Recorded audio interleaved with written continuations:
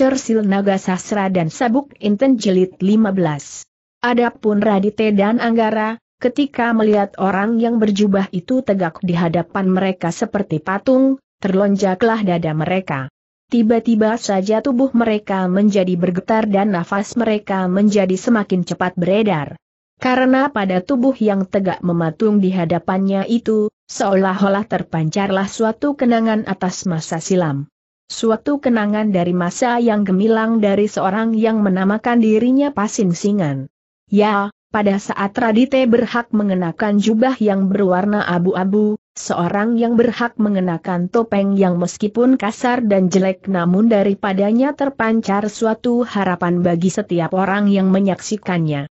Karena di balik wajah yang kasar dan jelek itu tersembunyi suatu pengabdian yang luhur tanpa pamrih tetapi keluhuran serta kemurnian pengabdian itu kemudian menjadi lebur.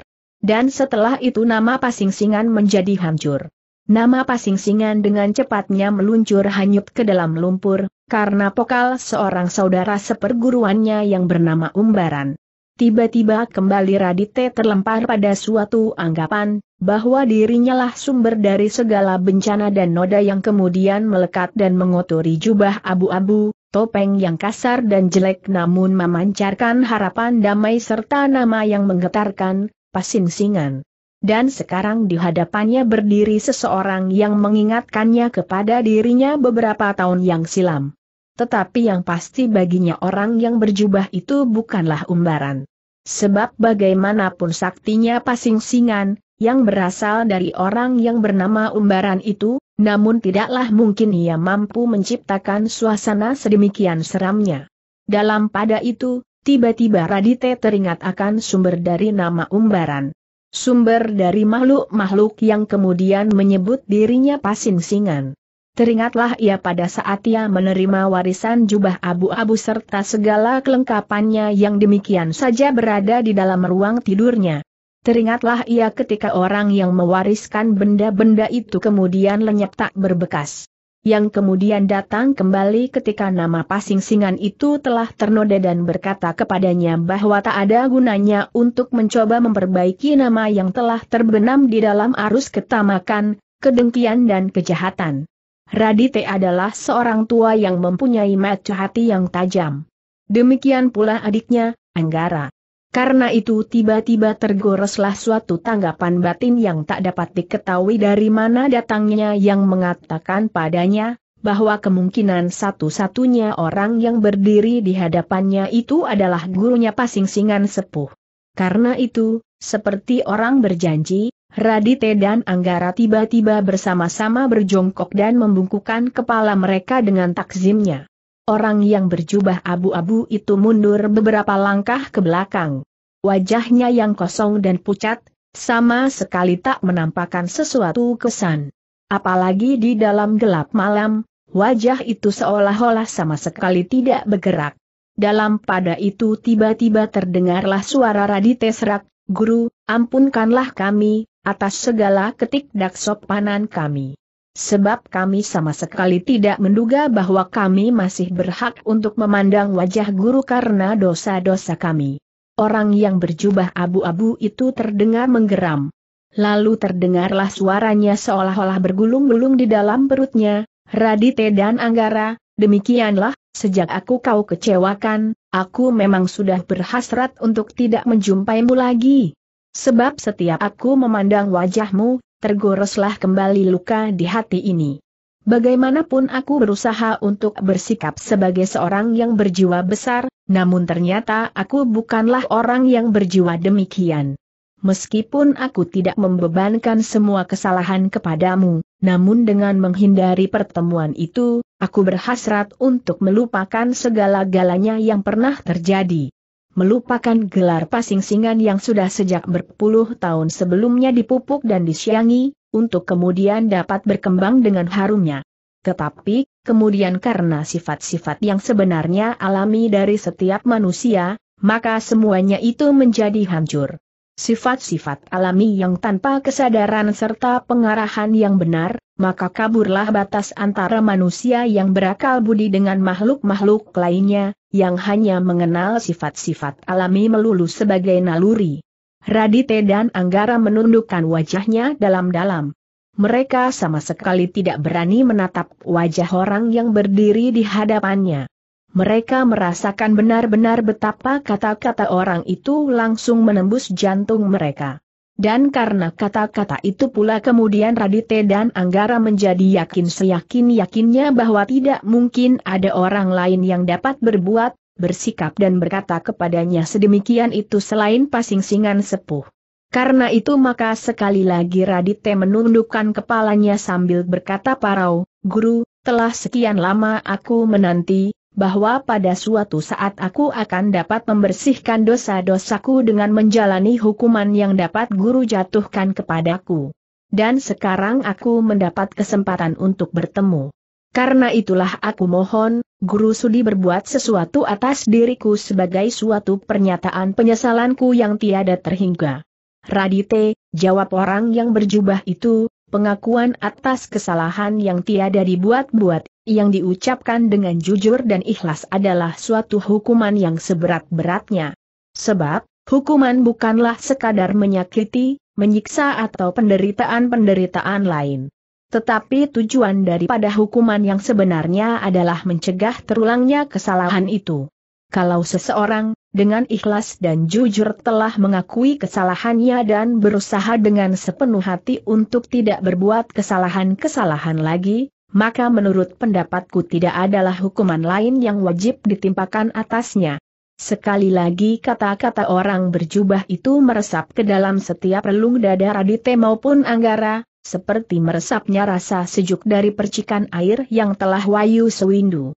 Meskipun demikian, karena beban perasaan yang terasa sangat berat menghimpit hati, Radite mencoba sekali lagi mendesak, Guru, bukankah hal yang demikian setidak-tidaknya akan dapat menjadi suri tauladan, bahwa Radite mengalami hukuman atas kesalahannya?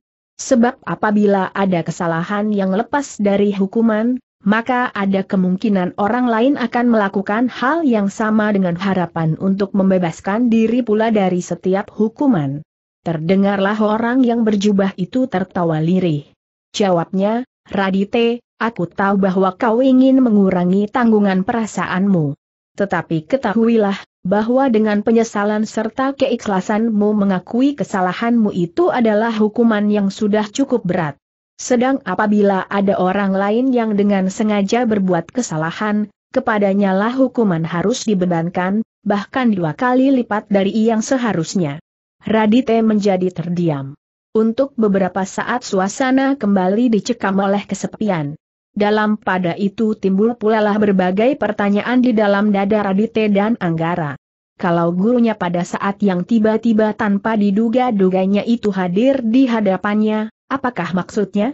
Ia tidak ingin memberi hukuman kepadanya, sebaliknya gurunya itu telah bertekad untuk tidak menjumpainya lagi. Tetapi sekarang orang itu ada di sini. Baru kemudian teringatlah oleh Radite bahwa di sampingnya ada orang lain dari perguruan lain. Yaitu Mahesa Jenar dan orang yang menamakan dirinya Tumenggung Surajaya. Apakah kedatangan gurunya itu ada sangkut pautnya dengan mereka itu? Karena itu kemudian bertanyalah ya, guru, kalau demikian apakah aku berhak mempersilahkan guru untuk singgah ke dalam pondokku? Terdengar orang berjubah itu tertawa pendek. Lalu sahutnya, Radite, kau agaknya terlalu cemas melihat bayanganmu sendiri. Bagiku, dosamu tidak sebesar yang kau duga sendiri.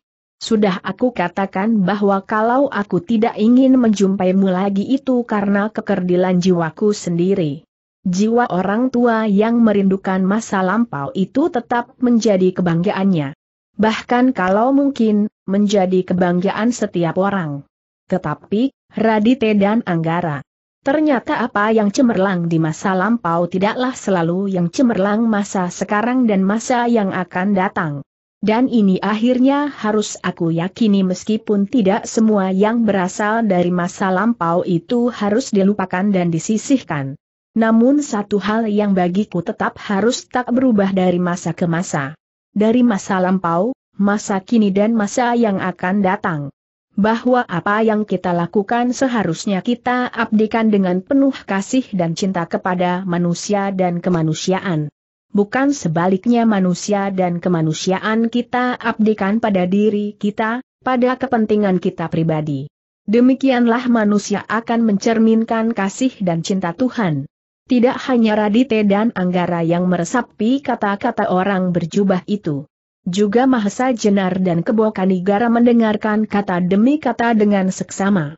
Sehingga untuk sesaat mereka lupa pada kepentingan mereka sendiri. Sementara itu terdengar orang berjubah itu meneruskan, dan karena itulah agaknya aku datang kemari. Kalau pada saat-saat lampau tak sepantasnya orang-orang muda menyeret orang-orang tua ke dalam satu persoalan, namun sekarang ternyata aku terseret kemari karena pokal anak-anak muda. Radite dan Anggara terkejut mendengar kata-kata itu tanpa disengaja mereka menoleh kepada Mahesa Jenar dan Kebo Kanigara yang masih duduk di samping mereka. Namun ketika didengarnya kata-kata orang berjubah itu, mereka pun mengangkat wajah mereka. Dan orang berjubah itu pun meneruskan, aku terpaksa datang kemari karena aku tidak mau. Radite dan Anggara menjadi semakin tercengang. Sedangkan Mahesa Jenar dan Kebo Kanigara terpaksa menundukkan wajah. Dalam pada itu terdengar kelanjutan kata-kata orang berjubah itu, Nah Radite, katakanlah kepadaku sekarang, apakah kau menyimpan Kiai Naga Sastra dan Kiai Sabuk Inten? Bukan main terkejutnya. Tidak hanya Radite dan Anggara. Tetapi juga Mahasa Jenar dan Kebo Kanigara. Dengan tergagap terdengar Radite menjawab, Guru, aku sama sekali tidak menyimpan kedua pusaka itu seandainya demikian, buat apakah kiranya kedua pusaka itu bagiku? Orang berjubah itu menoleh kepada Mahasa Jenar dan bertanya kepadanya, aku dengar, kau berkeras menuduh bahwa kedua pusaka itu berada di tempat ini. Mahesa Jenar sama sekali tidak menduga bahwa ia akan mendapat pertanyaan itu.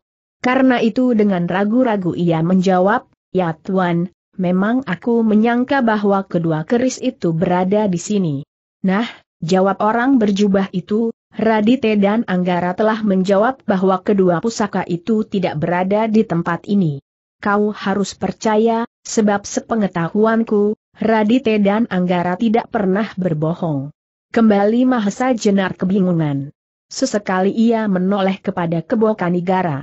Tetapi Kebo Kanigara agaknya sedang berpikir. Karena itu akhirnya Mahesa Jenar terpaksa menjawab, Tuan, memang sebenarnya aku tidak ingin menemukan keris itu di sini. Lalu apakah maksudmu sebenarnya desak orang berjubah itu? Sekali lagi Mahesa Jenar ragu. Sedangkan Radite dan Anggara pun menjadi bingung. Ia tidak mengerti arah jawaban Mahesa Jenar. Mahesa Jenar sendiri, yang mula-mula sudah merencanakan segala sesuatu dengan lengkap dan urut, namun di hadapan orang berjubah abu-abu itu semuanya menjadi terpecah-pecah kembali.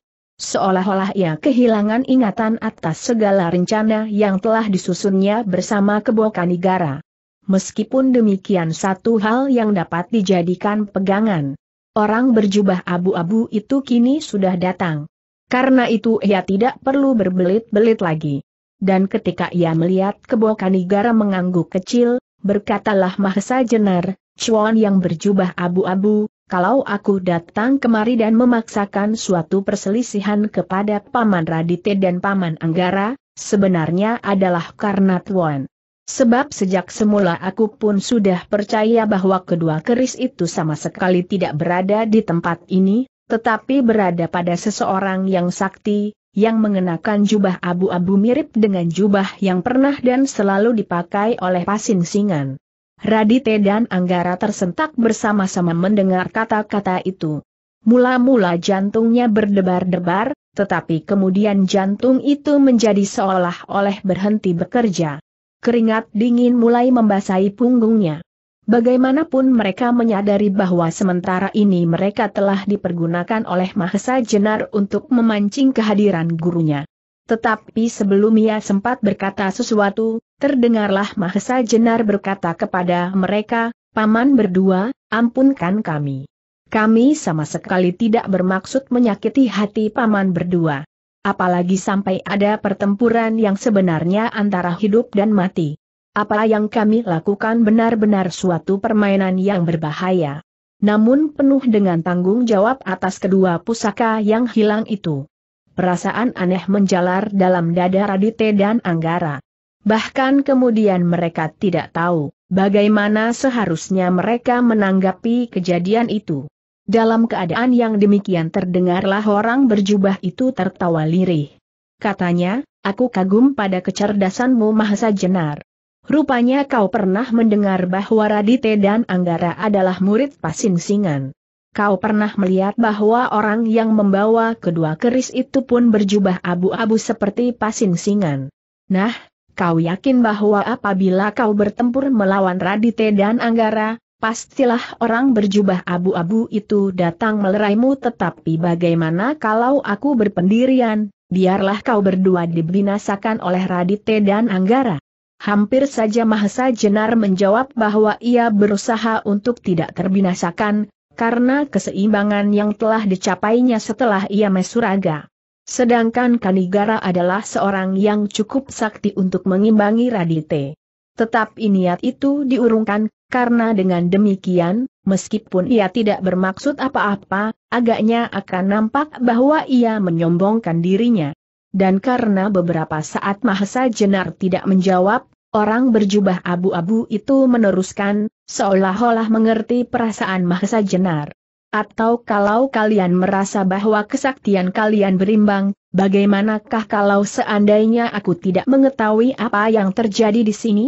Karena perkataan itu, seolah-olah Mahasa Jenar mendapat tuntunan untuk menjawabnya, Tuan, aku yakin bahwa Tuan akan mengetahui apa yang akan terjadi di sini.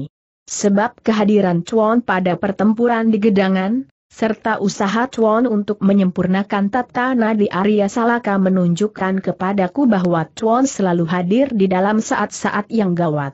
Sedangkan aku yakin pula bahwa Chuan tidak akan membiarkan salah satu pihak dari kita yang sedang bertempur menjadi binasa. Sebab Paman Radite dan Paman Anggara adalah murid-murid Chuan yang terpercaya. Meskipun akhirnya Tuan merasa perlu untuk menjauhinya, namun Tuan tidak akan tega sampai sejauh-jauhnya. Sebaliknya, apakah Tuan dapat melihat kami, aku dan Kakang Kebo Kanigara, binasa? Kenapa tidak terdengar orang berjubah itu menyaut? Kalau demikian, tiba-tiba Kebo Kanigara menyela, Chuan pasti tidak akan melerai kami. Membiarkan kami bertempur terus. Dan apabila kami binasa, selesailah persoalan Tuan, tetapi kalau kami menguasai keadaan, Chuan akan datang membantu Paman Radite dan Paman Anggara, tetapi ternyata yang terjadi tidaklah demikian. Kau yakin bahwa aku tidak akan berbuat demikian jawab orang berjubah abu-abu itu. Bukankah kau masih berada di tempat ini, dan aku masih belum berbuat sesuatu? Nah, agaknya kau telah mempercepat tindakan-tindakan yang akan aku lakukan. Ketahuilah bahwa kau benar. Aku datang untuk membantu Radite dan Anggara membinasakan kalian berdua. Radite dan Anggara menjadi semakin bingung. Persoalan yang agaknya menjadi semakin berbelit-belit. Ia menjadi bertambah terkejut lagi ketika tiba-tiba Kebo Kanigara tertawa. Tiba-tiba saja ia menemukan sifat-sifat yang sudah sangat dikenalnya pada orang berjubah abu-abu itu. Karena itu tiba-tiba pula ia berkata hampir berteriak, Nah, Chuan yang berjubah abu-abu, lakukanlah apa yang Tuan kehendaki. Namun aku ingin meninggalkan pesan buat anakku Arya Salaka di padepokan Karang Tumaritis. Orang berjubah itu terdiam. Bahkan tampak beberapa jengkal ia surut ke belakang. Namun kemudian ia berkata, aku tidak kenal Arya Salaka dari Karang Tumaritis. Kalau yang kau maksud itu adalah anak yang pernah aku tolong, memperbaiki tata nadinya, maka aku tidak ada hubungan sama sekali dengan anak itu. Sekarang Mahasa Jenar sudah tidak dapat menahan hatinya lagi.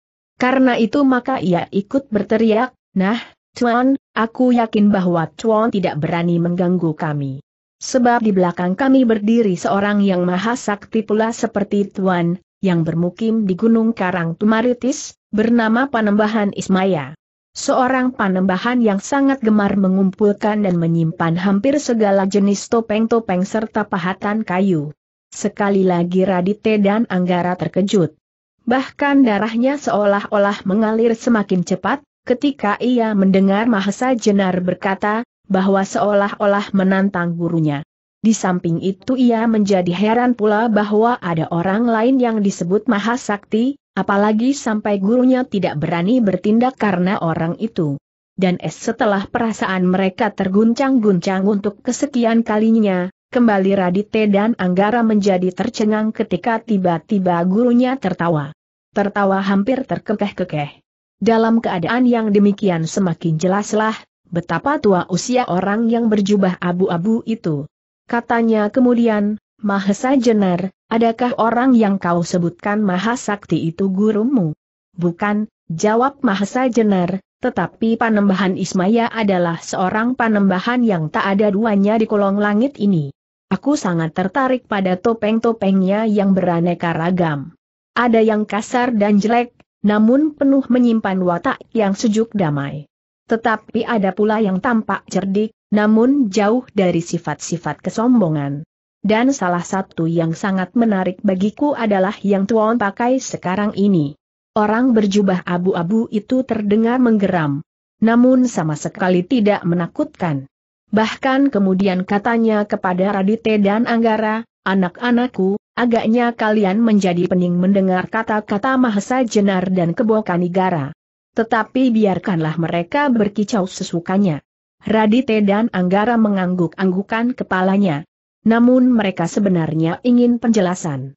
Di samping itu tiba-tiba mereka mendengar nama Kebo Kanigara disebut-sebut. Baik oleh Mahesa Jenar maupun oleh gurunya. Karena itu terdengarlah Radite berkata, benar Bapak, aku benar-benar menjadi pening. Namun sudilah kiranya Bapak memberi penjelasan. Orang berjubah abu-abu itu tertawa. Katanya, Radite, sebaiknya aku kau persilahkan masuk ke dalam pondokmu dahulu bersama kedua tamu-tamumu yang aneh ini. Radite kemudian merasa diingatkan atas kewajibannya sebagai tuan rumah. Karena itu dipersilahkannya gurunya beserta kedua tamu yang membingungkan itu masuk ke dalam rumahnya.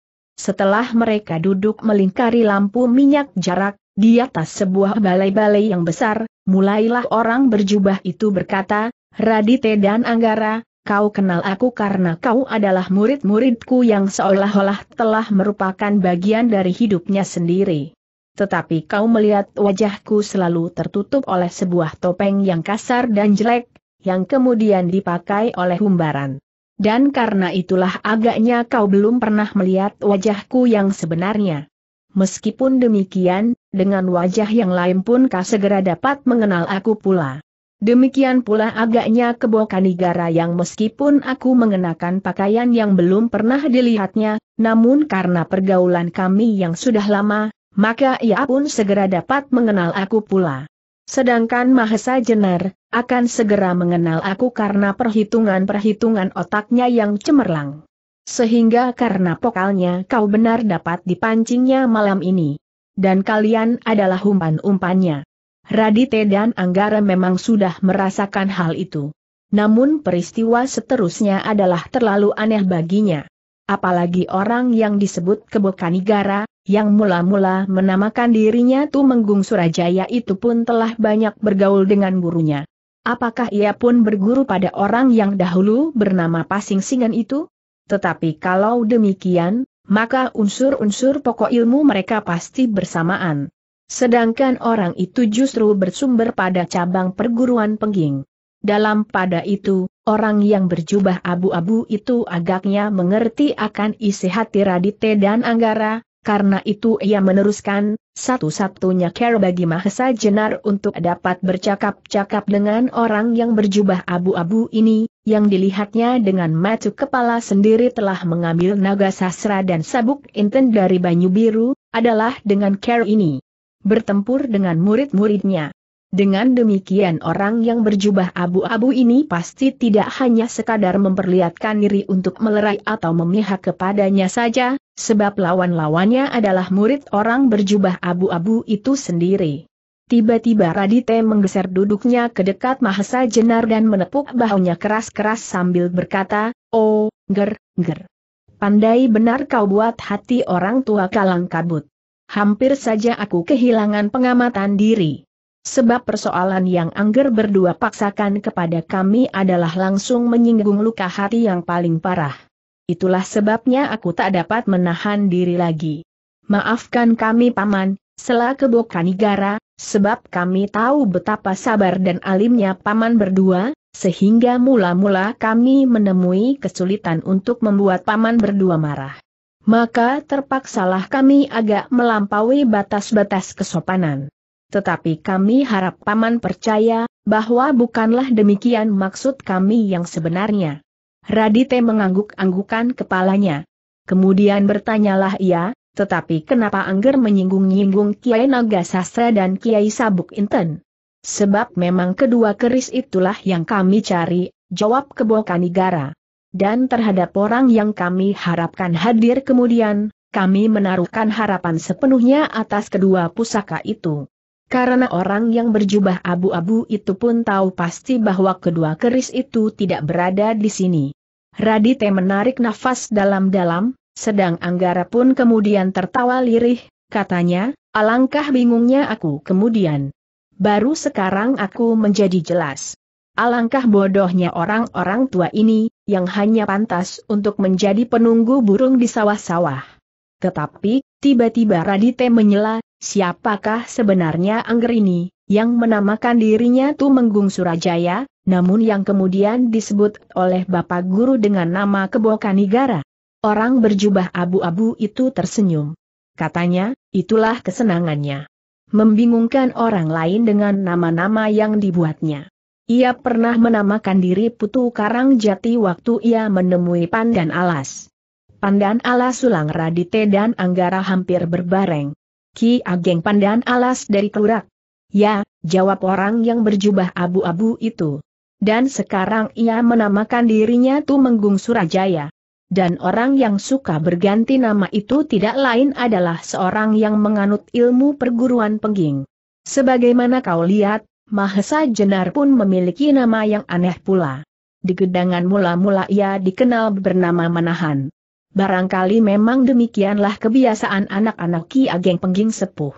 Aku sudah menduga, selara dite, bahwa Angger ini pasti seorang murid yang sempurna dari perguruan Pengging. Tidak saja murid, sahut orang berjubah abu-abu itu, tetapi ia adalah anak Handaya Ningrat itu, dan bahkan adik seperguruannya. Radite dan Anggara bersama-sama mengerutkan keningnya. Tahulah ia sekarang kenapa ia memiliki kesaktian yang mengagumkan. Yang dapat mengimbangi ilmu yang dimiliki oleh Radite sendiri. Tetapi dalam pada itu terdengarlah Mahesa Jenar berkata, Cuan benar. Memang anak-anak perguruan penghing suka berganti nama. Tetapi agaknya Chuan lupa bahwa seorang yang bernama Radite pernah bernama Pasing Singan dan pernah bernama Paniling. Seorang yang bernama Anggara pun memiliki nama lain, yaitu Darba. Tetapi lebih daripada itu, seorang lain yang pernah bernama pula Pasing Singan, ternyata memiliki nama yang lain, Panembahan Ismaya. Bagaimanapun juga, orang berjubah abu-abu itu tergeser beberapa jengkal.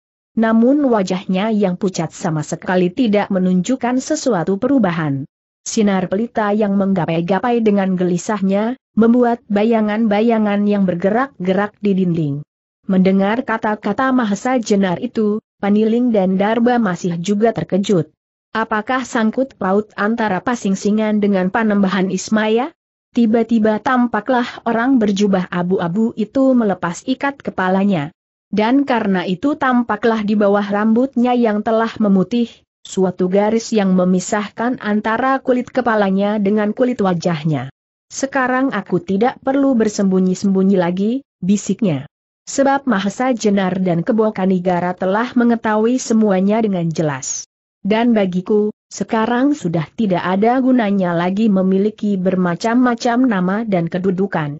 Bersamaan dengan itu, terkelupaslah kulit yang tipis dari wajah orang berjubah abu-abu itu kulit kayu yang dipahatnya halus-halus menyerupai benar wajah seseorang. Terhadap topeng itu tak seorang pun yang terkejut. Apalagi Mahesa Jenar, yang jauh sebelumnya telah mengenal bahwa orang berjubah abu-abu itu tidak memiliki wajah sewajarnya, melainkan mengenakan topeng. Dan topeng itu jauh berbeda dengan topeng yang pernah dipakainya pada saat ia bernama Pasing Singan. Dari balik topeng itu muncullah wajah orang berjubah abu-abu itu. Wajah seorang tua yang lunak damai. Meskipun berkerut-kerut namun kesegaran masih memancar dari wajahnya wajah yang sudah dikenal oleh Mahesa Jenar dan Kebo Kanigara. Memang orang itulah panembahan Ismaya. Radite dan Anggara tiba-tiba merasa terharu. Terharu karena mereka berkesempatan mengenal wajah gurunya. Wajah yang selama ini menjadi teka-teki. Bahkan mereka menduga bahwa seumur hidup mereka tak akan sempat memandang wajah itu. Namun suatu hal yang mengejutkan mereka berdua, bahwa orang berjubah abu-abu itu tidaklah setua yang mereka duga. Umurnya tidak banyak terpaut banyak dengan umur mereka sendiri.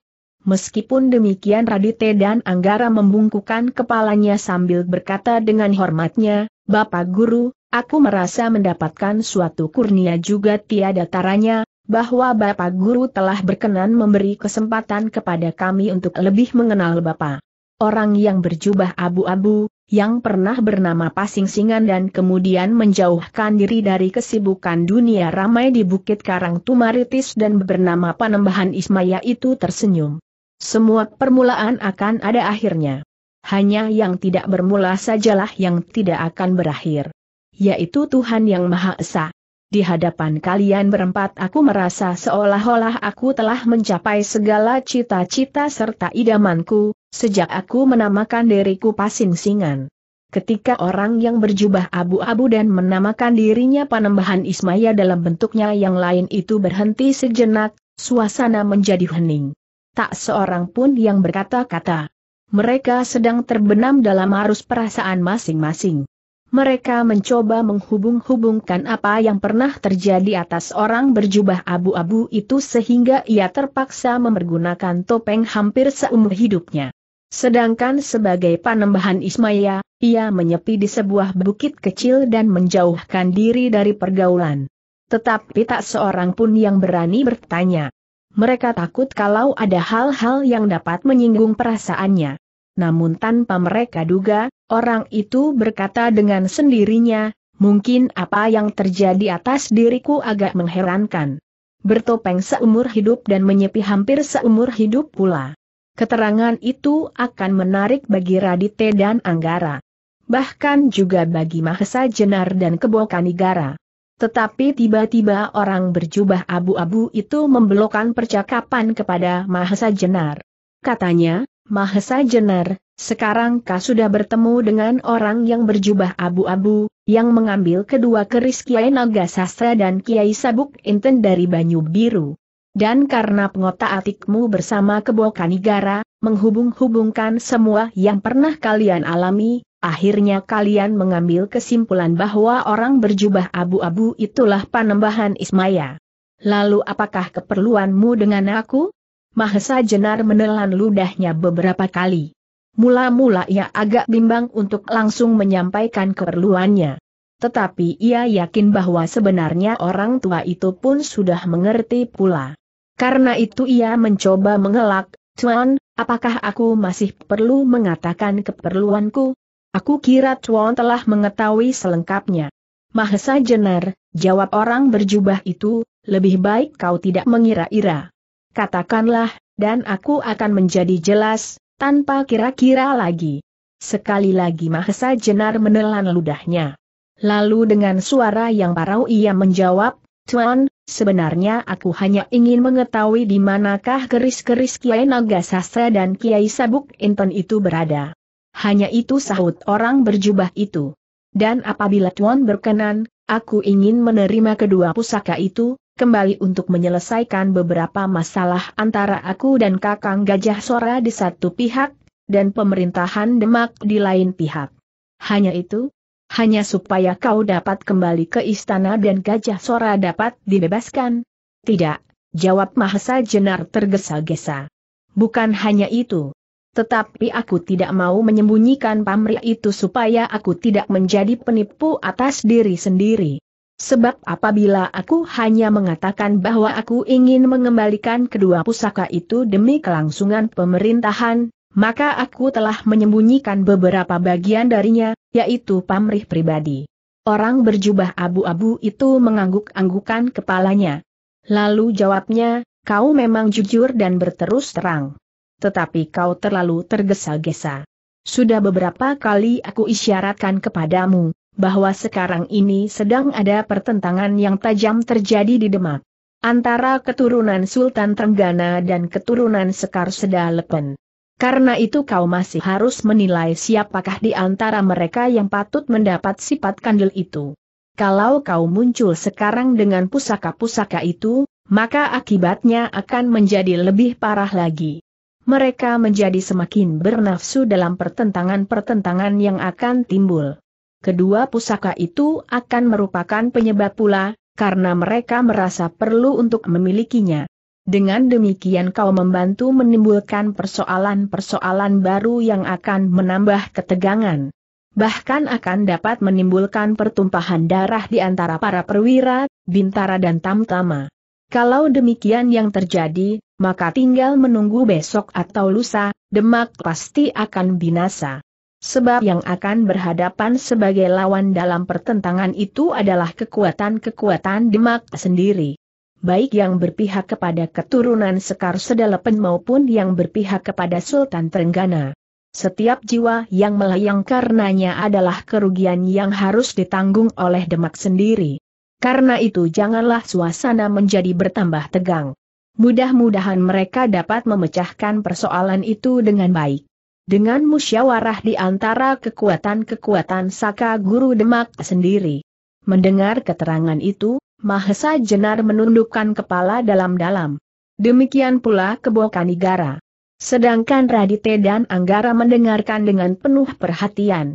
Dengan demikian, orang berjubah abu-abu itu meneruskan, setiap orang Demak akan dapat mencurahkan tenaganya untuk kesejahteraan negeri membangun tempat-tempat ibadah dan pendidikan, surau-surau dan langgar. Di samping itu setiap prajurit Demak akan berkesempatan untuk menumpas habis golongan-golongan yang tidak senang melihat Demak menjadi bulat.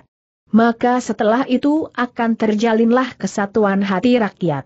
Ketenteraman hidup dengan berbakti kepada Tuhan Yang Maha Esa tanpa mendapat gangguan dalam bangkuan tanah tumpah darah yang gemari pahloh jinawi, tata titi tentrem kertara harja, tanpa bibit-bibit pertentangan yang ditaburkan di hari ini, yang akan tumbuh dan menjadi lebat di hari kemudian.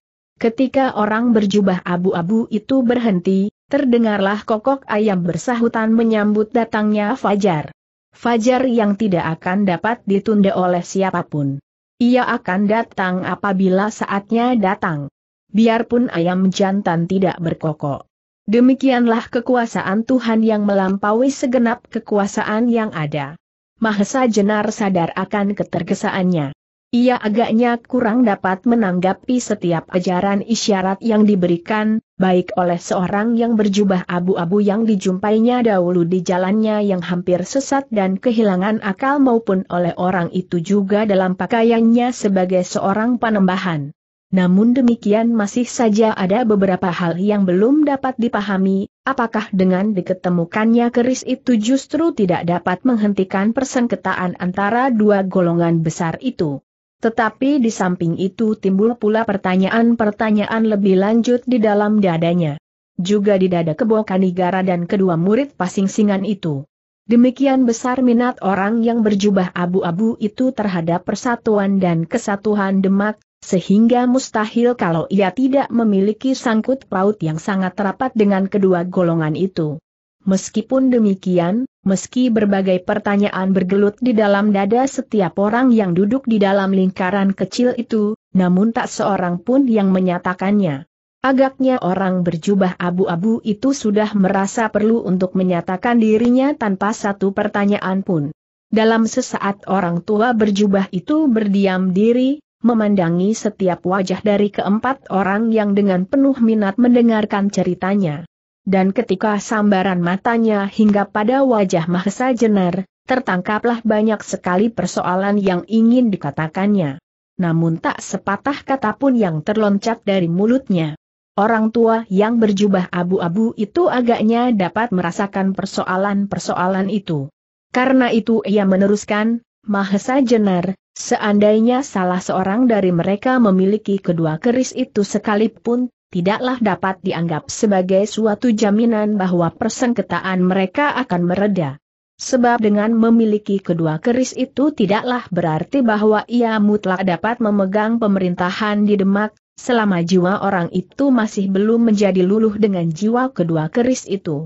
Apabila seseorang telah benar-benar dapat menguasai, serta jiwa kedua keris itu luluh dalam dirinya, barulah ia mendapat sifat kandil yang sebenarnya. Selama masih ada jarak antara seseorang dengan keris itu, maka selama itu keris-keris yang keramat itu sama sekali tak akan berguna. Karena itulah maka meskipun orang yang berjubah abu-abu sebagaimana kau lihat, berhasil menyimpan kedua keris itu, seandainya, ia ingin memegang tampuk pemerintahan Demak, hal itu tidak akan dapat dicapainya. Sebab jiwa keris itu tidak dapat luluh ke dalam dirinya. Juga orang-orang dari golongan hitam itu pun akan tidak mempunyai sesuatu arti, apabila mereka memiliki kedua pusaka demak itu, kembali orang tua itu berhenti. Di luar, cahaya matahari pagi telah memercik hinggap di dedaunan. Burung-burung dengan riangnya berkicau bersahutan. Demikianlah padepokan yang sepi itu seolah-olah telah terbangun dari tidurnya. Namun halaman-halaman rumah penduduk pada pokan itu masih tampak sepi. Satu dua orang yang telah muncul dari ambang pintunya, dengan tergesa-gesa pergi ke sungai, sedang yang lain dengan sibuknya menyalakan api untuk merebus air. Di sana-sini terdengar jeritan anak-anak kecil yang memanggil ibunya, ketika mereka terbangun dari tidurnya yang nyenyak, seolah-olah mereka kecewa kehilangan mimpi yang segar. Dalam kecerahan pagi itu tampaklah orang-orang yang duduk di atas sebuah balai-balai besar di rumah Paniling masih belum berkisar dari tempatnya. Mereka masih dengan asiknya mendengarkan kisah dari orang tua yang berjubah abu-abu itu.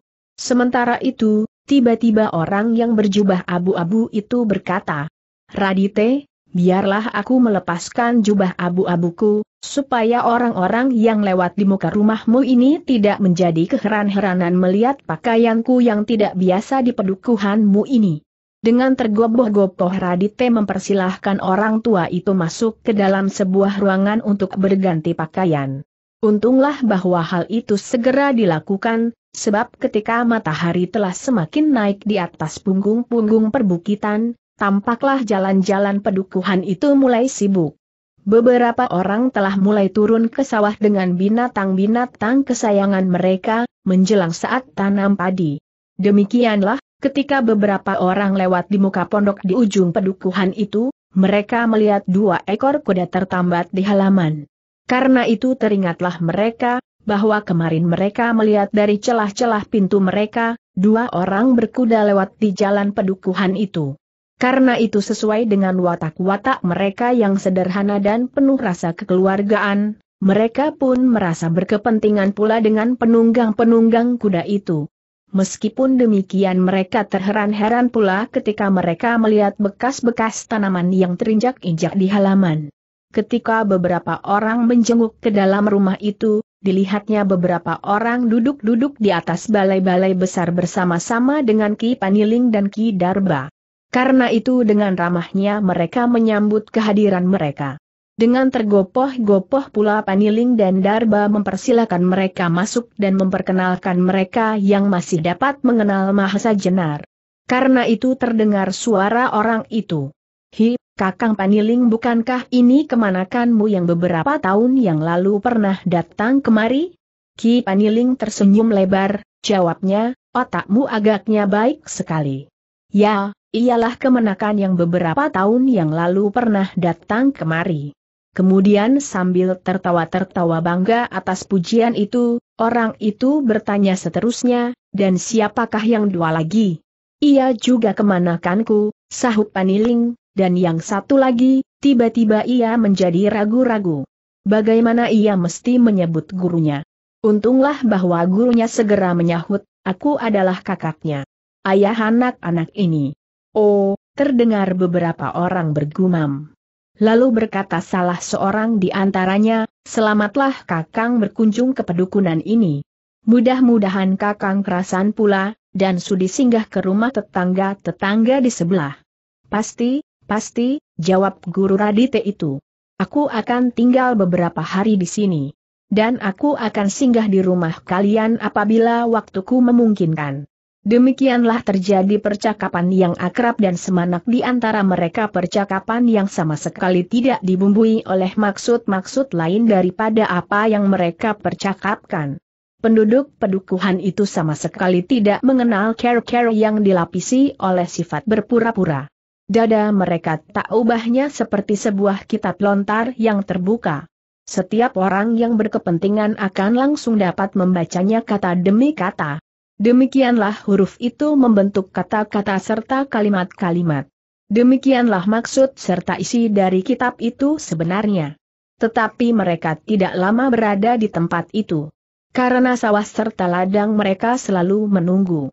Menunggu uluran tangan para petani yang dengan setia dan tekun menggarapnya. Tanpa banyak persoalan. Mereka bekerja untuk memetik hasilnya. Karena itu mereka sadar bahwa apabila mereka tidak bekerja, maka mereka pun akan kelaparan. Dengan demikian mereka tidak pernah berpikir lain daripada kesejahteraan pedukuhan mereka, tergantung atas kesanggupan serta kemauan mereka bekerja. Dan seandainya ada orang lain, yang berbelas kasihan memberi kepada pedukuhan itu kesejahteraan yang melimpang-limpah, maka pastilah itu bukan hal yang sewajarnya pastilah dengan demikian mereka mempunyai pamrih. Setidak-tidaknya orang-orang dari pedukuhan itu akan terikat oleh suatu perasaan berhutang budi. Dan dengan demikian hilanglah sebagian, meskipun hanya sebagian kecil, kemerdekaan serta kedaulatan mereka atas diri sendiri.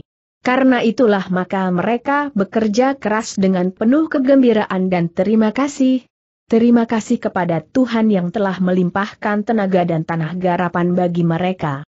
Namun ketika mereka meninggalkan halaman rumah itu, ada juga yang sempat bertanya, Bapak Paniling, kenapakah tanaman-tanaman Bapak rusak bekas terinjak-injak? Paniling agak bingung untuk menjawab pertanyaan itu, tetapi akhirnya diketemukan juga jawabnya. Akaha, semalam kuda tamu-tamuku itu lepas dari ikatannya. Terpaksalah kami beramai-ramai menangkapnya. Mereka percaya saja pada keterangan itu. Bahkan beberapa orang menjadi geli karenanya. Tetapi apabila mereka tahu apa yang sebenarnya terjadi, pastilah mereka mempunyai tanggapan yang akan sangat jauh berbeda. Demikianlah ketika para petani meninggalkan rumah Ki Paniling, Kembali perhatian mereka tertuju kepada orang tua yang sekarang sudah tidak lagi mengenakan jubah abu-abu. Tetapi orang tua itu kini mengenakan baju lurik merah coklat serta ikat kepala yang kehijau-hijauan. Mahesa Jenar dan Kebo Kanigara telah mengenal wajah orang itu dengan baiknya sebagai seorang panembahan. Tetapi kali ini, dalam pakaian yang lain, tidak seperti yang biasa dipakainya, yaitu jubah putih, tampaklah bahwa wajah itu menjadi semakin segar. Cahaya matanya tidak saja tampak dalam dan damai, seperti biasa, yang seolah-olah menjangkau jauh ke alam yang tidak kasat mata. Tetapi metu itu kini memancar dengan terangnya menyorot ke depan, ke masa yang akan datang. Ke masa yang tidak terlalu jauh.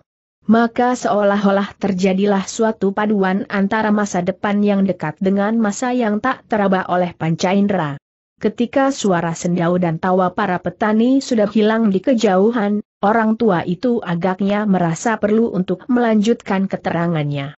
Karena itu ia mulai berkata, anak-anakku sekalian. Demikianlah tuah dari kedua keris yang sedang kau cari itu. Ia baru bermanfaat bagi pemiliknya apabila jiwa keris itu sudah luluh dalam dirinya.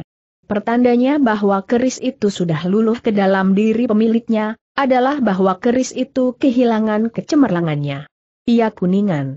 Tetapi kedua keris itu menjadi tak ubahnya seperti besi biasa saja. Sama warnanya dengan sebuah pisau dapur saja. Sedang apabila jiwa kedua keris itu luluh pada diri seseorang, maka orang itu akan memiliki sifat-sifat khusus yang meresap ke dalam dirinya. Kiai Naga Sastra mempunyai watak disuyuti oleh kawula, dicintai dan disegani oleh rakyat. Dengan demikian ia akan ia akan memiliki unsur sifat-sifat kepemimpinan. Sifat-sifat yang demikian memang seharusnya dimiliki oleh seorang pemimpin. Pancaran dari cinta kasih Tuhan, peri kemanusiaan, memberi perlindungan kepada orang yang kehujanan dan kepanasan, memberi makanan kepada orang yang kelaparan, memberi pakaian kepada orang yang telanjang, memberi tuntunan bagi yang kehilangan jalan. Sedang Kiai Sabuk Inten mempunyai watak seperti watak lautan. Luas tanpa tepi menampung segala arus sungai dari mana pun datangnya. Menerima dengan tada banjir yang bagaimanapun besarnya. Namun gelombangnya dapat menunjukkan kedahsyatan dan kesediaan bergerak dan bahkan selalu bergerak. Watak yang demikianlah yang memungkinkan seseorang dapat menemukan yang belum pernah diketemukan. Dan karenanya lah kesejahteraan rakyatnya dapat dijamin. Kesejahteraan lahir dan batin memberi kesempatan kepada mereka untuk mengalirkan airnya yang ditampung dapat beriak dengan manisnya, namun dapat bergulung-gulung dengan dahsyatnya, seolah-olah lautan itu sedang mendidih. Orang tua itu berhenti sejenak. Ia memandang berkeliling lalu melemparkan sorot matanya yang damai itu lewat lubang pintu dan jatuh di atas tanah berdebu di halaman. Sekali-kali ia menarik nafasnya dalam-dalam seolah-olah ada sesuatu yang kurang pada tempatnya. Kemudian terdengarlah ia melanjutkan, sayang, bahwa kedua keris itu masih harus dilengkapi dengan yang satu lagi. Kiai Sengkelat.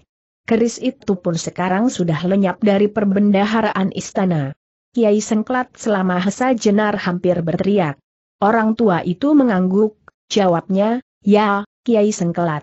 Tidak saja keris-keris itu tidak mau luluh pada diri seseorang, tetapi keris-keris itu ternyata lolos dari tempat penyimpanannya. Padahal sengklat pun tidak kalah pentingnya. Ia memiliki watak yang lengkap dari watak seorang prajurit.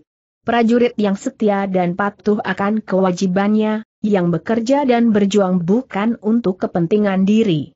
Tetapi seorang prajurit akan berjuang untuk tanah tumpah darah serta rakyatnya, dengan penuh kejujuran dan tanpa pamrih, dalam lingkaran kebaktian dan cinta kasih yang maha agung.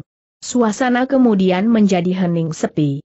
Masing-masing tenggelam dalam angan-angan sendiri. Mahesa Jenar yang dengan bekerja keras dan mati-matian berusaha untuk menemukan Kiai Sabuk Inten, bahkan usahanya itu belum dapat dikatakan berhasil sepenuhnya, Tiba-tiba ia mendengar bahwa Kiai Sengklat pun sedang lolos dari simpanannya. Sedang Kebo Kanigara, sebagai seorang keturunan Brawijaya, menjadi sedih pula. Bagaimanapun juga, ia masih selalu merindukan kebesaran yang pernah dicapai oleh Majapahit, dahulu. Tiba-tiba terdengarlah Kebo Kanigara bertanya, Tuan, tidak adakah hulu balang istana yang dapat berusaha untuk menemukan keris-keris itu? Orang tua itu kemudian tersenyum. Jawabnya, tidak kurang banyaknya para prajurit Demak yang disebar ke segenap penjuru. Bukankah Mahesa Jenar pernah juga bertemu dengan Gajah Alit dan Panigeron? Juga bukankah Arya Palindih pernah diutus ke Banyu Biru untuk menemukan keris-keris itu? Bahkan sampai sekarang pun masih banyak dari para perwira Demak yang berkeliaran mencari pusaka-pusaka itu. Kebo Kanigara mengangguk-anggukan kepalanya. Namun jelas terbayang di dalam kepalanya, bahwa para prajurit Demak itu akan menjadi selalu kecewa, karena mereka tidak akan dapat menemukan Kiai Naga Sastra dan Kiai Sabuk Inten. Agaknya Kiai Sengklat pun masih terlalu sulit untuk diketahui tempatnya. Sebenarnya tidaklah terlalu banyak orang yang mengetahui hilangnya pusaka-pusaka itu. Sebab memang hal itu dirahasiakan. Yang boleh mengetahui hanyalah orang-orang terbatas saja. Tetapi ada di antara mereka yang bertugas, terutama dari pejabat-pejabat rahasia Demak sendiri, mempunyai pamrih atas pusaka-pusaka itu. Sebab mereka mempunyai pengertian yang salah, seolah-olah siapa saja yang memiliki pusaka itu, dengan sendirinya akan dapat menduduki tahta. Orang tua itu kembali membetulkan letak duduknya dan sekali-kali menarik napas dalam-dalam. Kemudian ia meneruskan, padahal, segala sesuatu sangat tergantung kepada orang itu sendiri. Dan tergantung padanya pula lah pusaka-pusaka keraton itu dapat luluh atau tidak ke dalam dirinya. Itulah yang biasa disebut orang wahyu titik. Dan wahyu itu bukanlah semacam permainan dadu dengan mempertaruhkan keberuntungan, tetapi untuk dapat menerima wahyu maka seseorang harus mempersiapkan dirinya sebagai wadah dari watak dan sifat-sifat wahyu itu. Karena itulah maka untuk menerima wahyu seseorang harus bekerja keras, mesuaga dengan penuh keprihatinan. Segala sesuatunya menjadi jelas bagi Mahesa Jenar, Kebokanigara dan kedua murid pasing singan itu. Tetapi justru karena itu Mahesa Jenar tidak lagi menjadi gelisah atas pusaka-pusaka keraton yang hilang itu. Sebab meskipun ia berada di tangan seseorang, seseorang yang mempunyai pamrih sekalipun, tidaklah ia akan selalu berhasil setelah memiliki kedua pusaka itu. Meskipun demikian untuk meyakinkan diri sendiri, bertanyalah Mahesa Jenar, Tuan, aku sudah dapat memahami semua keterangan itu. Namun meskipun demikian, untuk menenteramkan perasaanku sendiri, aku ingin mendapat penjelasan yang pasti, apakah kedua keris Kiai Naga Sastra dan Kiai Sabuk Inten ada pada Tuan. Sekali lagi orang itu tersenyum. Sambil mengangguk ia menjawab, benar. Mahesa jenar. Kedua keris itu ada padaku. Jangan takut. Bagaiku kau adalah lantaran yang sebaik-baiknya untuk menyerahkan kembali kedua pusaka itu ke Demak kelak apabila kita sudah mendapat gambaran, siapakah yang paling sesuai untuk menjadi wadah dari wahyu itu. Meskipun demikian segala sesuatu masih tergantung atas kebenaran yang tertinggi. Adakah Tuhan memperkenankan atau tidak? Sebab Tuhanlah maha penentu dari segala kejadian. Yang tiba-tiba menjadi persoalan di dalam otak Mahasa Jenar dan Kebokanigara kemudian adalah Ki Ageng Gajah Sora. Ia akan dapat dibebaskan apabila kedua keris itu sudah dapat diketemukan. Sebab dengan demikian akan dapat dibuktikan apakah ia bersalah atau tidak. Sedang menurut orang tua itu, penyerahan kembali keris-keris itu masih memerlukan waktu. Lalu bagaimanakah yang akan terjadi dengan gajah sora itu? Karena persoalan itu bertubi-tubi menghantam dinding kepalanya, akhirnya Mahesa Jenar memberanikan diri bertanya, Tuan, masih ada sesuatu yang sangat mengganggu perasaanku, yaitu masalah kakang gajah sora. Dengan demikian maka ia tidak akan segera mendapatkan penyelesaian. Orang tua itu, yang pernah mengenakan gelar pasing-singan itu, mengerutkan keningnya. Persoalan itu bagi Banyu Biru bukan persoalan yang kecil. Sebab persoalan itu bagi Banyu Biru akan menentukan garis sejarah masa depan Banyu Biru, meskipun tidak seluruhnya. Untunglah Gajah Sora meninggalkan seorang anak laki-laki yang dapat dibanggakan, Arya Salaka. Karena itu ia berkata, Mahesa Jenar, sebaiknya kalian tidak usah menunggu Gajah Sora. Bawalah Arya Salaka ke dalam tugas sucinya.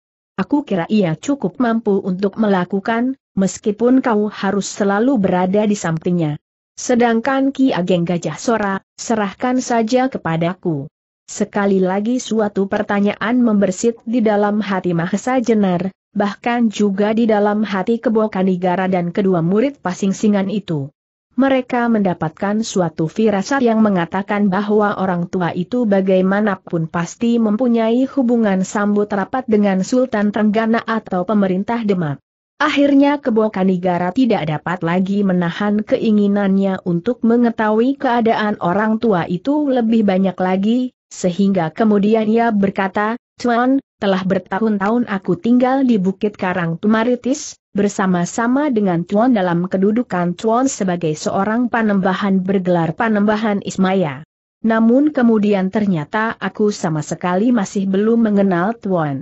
Sebab ternyata aku masih belum mengetahui apa yang Tuan lakukan apabila Tuan sampai berbulan-bulan meninggalkan padepokan kami. Juga ternyata karena keterangan-keterangan Tuan, aku malahan menjadi semakin banyak menyimpan pertanyaan-pertanyaan tentang Tuan. Karena itu seandainya Tuan tidak keberatan sejalan dengan pernyataan Tuan untuk tidak berahasia lagi, khususnya terhadap kami, Apakah Chuan tidak keberatan apabila Chuan menyatakan kepada kami siapakah Chuan serta dari manakah Chuan sebenarnya? Orang tua itu menarik nafas dalam-dalam. Sambil mengangguk-anggukan kepalanya, berkatalah ia dengan suara yang dalam dan perlahan, Kebokanigara dan kalian yang lain, apakah ada perlunya aku menyatakan diri serta asal-usulku? Sebab apa yang sudah terjadi itu tidak akan banyak pengaruhnya bagi masa yang akan datang. Karena Mahasa Jenar pun ingin sekali mendengar keterangan itu, ia pun mendesaknya, bahwa masa lampau selalu penting bagi masa kini maupun masa depan. Apa yang terjadi sekarang karena telah terjadi sesuatu pada masa-masa lampau. Karena itu kami tidak akan dapat meninggalkan angkatan dari masa lampau. Alangkah kerdilnya jiwa kami apabila kami memperkecil arti angkatan-angkatan sebelum kami. Meskipun bukan berarti bahwa kami akan selalu menggantungkan diri padanya. Namun pengalaman-pengalaman adalah maha guru yang sangat baik. Hasil-hasil yang pernah dicapai serta care-care untuk mencapainya. Juga kesalahan-kesalahan yang pernah dilakukan adalah suatu cermin untuk mengenal cacat wajah sendiri. Kembali orang itu mengangguk-angguk.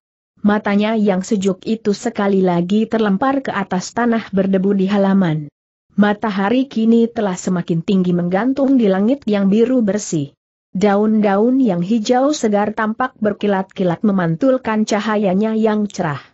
Orang tua yang menamakan diri Panembahan Ismaya itu masih berdiam diri. Tampaknya ia agak ragu-ragu. Namun akhirnya diceritakanlah kepada Mahesa Jenar, Kebokanigara dan kedua muridnya itu tentang dirinya. Anak-anakku sekalian. Baiklah aku menuruti permintaanmu. Tetapi jangan kau ceritakan kepada orang lain dari apa yang akan kau dengar. Ia berhenti sejenak untuk mendapat kesan bahwa mereka yang akan mendengarkan ceritanya benar-benar tidak akan mengatakan kepada orang lain. Sejenak kemudian ia meneruskan, yang mula-mula boleh kau ketahui, namaku yang sebenarnya yang diberikan oleh ayah dan ibuku, adalah Buntara, lengkapnya Raden Buntara. Mendengar nama itu, Mahesa Jenar, Kebokanigara dan kedua muridnya bersama-sama tergerak hatinya. Bahkan tiba-tiba Kebokanigara mengangkat wajahnya serta memandang orang tua itu tajam-tajam memandang segenap bagian tubuhnya seolah-olah di dalamnya tersimpan sesuatu yang sangat menarik perhatiannya. Agaknya orang tua itu merasa betapa Kebo Kanigara tertarik pada namanya. Karena itu ia bertanya, adakah sesuatu yang menarik dari nama itu, Kanigara? Kanigara mengerutkan keningnya. Otaknya bekerja keras untuk mengingat-ingat nama-nama yang pernah didengarnya. Akhirnya seperti orang terperanjat ia menjawab, ya, nama itu sangat menarik bagiku. Orang tua itu tersenyum, lalu katanya, apakah yang menarik? Kanigara kembali menarik alisnya. Ketika kemudian ia teringat sesuatu, hampir berteriak ia berkata, Raden Buntara, bukankah Raden Buntara itu adik Sultan Brawijaya Pamungkas dari seorang Garwa Ampian? Sekali lagi orang tua itu tersenyum. Katanya, kau pernah mendengar nama itu? Ya, jawab Kanigara, aku pasti pernah mendengarnya. Ayahku pernah menyebut-nyebut nama itu. Tentu, sahut orang tua itu. Ayahmu pasti pernah menyebut-nyebut namaku. Aku adalah pamannya yang paling dekat dengan ayahmu itu. Kalau demikian Chuanlah Eyang Buntara yang pernah aku dengar namanya, kata Kanigara sambil membungkuk hormat. Hormat sekali. Raden Buntara mengangguk-angguk. Namun kemudian ia berkata, Kanigara, kau benar. Aku adalah orang yang kau maksud itu. Tetapi jangan panggil aku Eyang Buntara. Panggillah aku Panembahan Ismaya. Sekali lagi Kebo Kanigara membungkukan kepala dengan takzimnya. Bahkan kemudian Mahesa Jenar, Radite dan Anggara pun membungkuk hormat. Hormat kepada seorang yang mereka segani. Tetapi lebih dari itu, orang tua itu ternyata adalah adik Baginda Brawijaya Pamungkas. Untuk sesaat suasana ditelan oleh kesepian. Berbagai perasaan muncul di dalam kepala masing-masing. Sehingga kemudian kesunyian itu dipecahkan oleh suara panembahan Ismaya.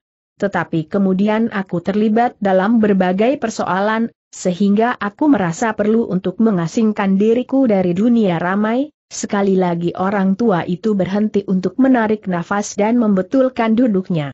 Kemudian dia sambungnya lagi, ketika itu terjadi perbedaan paham yang bersumber pada perbedaan kepercayaan. Pada waktu itu aku sudah mencoba untuk meyakinkan bahwa kepercayaan bukanlah sumber yang tak dapat dibendung. Namun agaknya Sultan merasa bahwa ia lebih baik mengundurkan diri dari tahta serta meninggalkan istana. Tetapi Raden Patah pun sama sekali tidak mau memperkosa kekuasaan Majapahit. Karena itu sebelum Prabu Brawijaya itu menyerahkan kekuasaan. Dan ternyata Prabu Brawijaya memberikan izin itu, meskipun ia sudah berada di perjalanan. Ketika Raden Patah kemudian memegang pimpinan kerajaan, dipindahkannya pusat kerajaan dari Majapahit ke Demak, sehingga dengan demikian berakhirlah suatu rangkaian pemerintahan yang berpusat di Majapahit. Pada saat itu Prabu Brawijaya, diiringi oleh beberapa orang pergi berkelana dari satu tempat ke lain tempat. Beliau berjalan menyusur pantai selatan menuju arah matahari terbenam.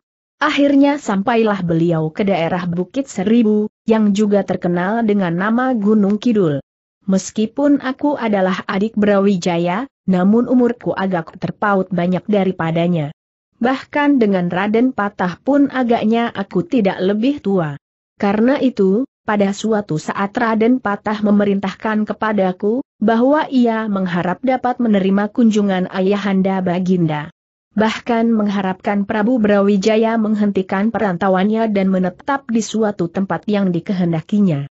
Dengan susah payah aku menyusur bekas perjalanan Baginda. Bertanya dari suatu tempat ke tempat lain. Dengan demikian dapatlah banyak yang dilihat dan banyaklah yang dapat didengar, tentang hidup dan penghidupan. Tentang alam dan seluk-beluknya, untuk melengkapi pengetahuannya menjelang masa langgeng. Tetapi terjadilah hal yang sama sekali tak terduga-duga. Seorang tumenggung yang ikut serta dalam rombongan Baginda merasa curiga atas kehadiranku. Tumenggung itu menyangka bahwa aku datang dengan pamrih. Kalau aku dianggap lawan yang harus dibunuh, maka aku tidak akan sakit hati. Tetapi yang tidak dapat aku terima adalah sangkaan yang bukan-bukan atas diriku dalam persoalan-persoalan yang memalukan. Ia menganggap bahwa aku sengaja mendekatkan diriku kepada Baginda untuk dapat mengetahui di mana kekayaan Baginda yang dibawa sebagai bekal perjalanan, disimpan. Ia menuduh bahwa aku ingin memiliki harta kekayaan itu.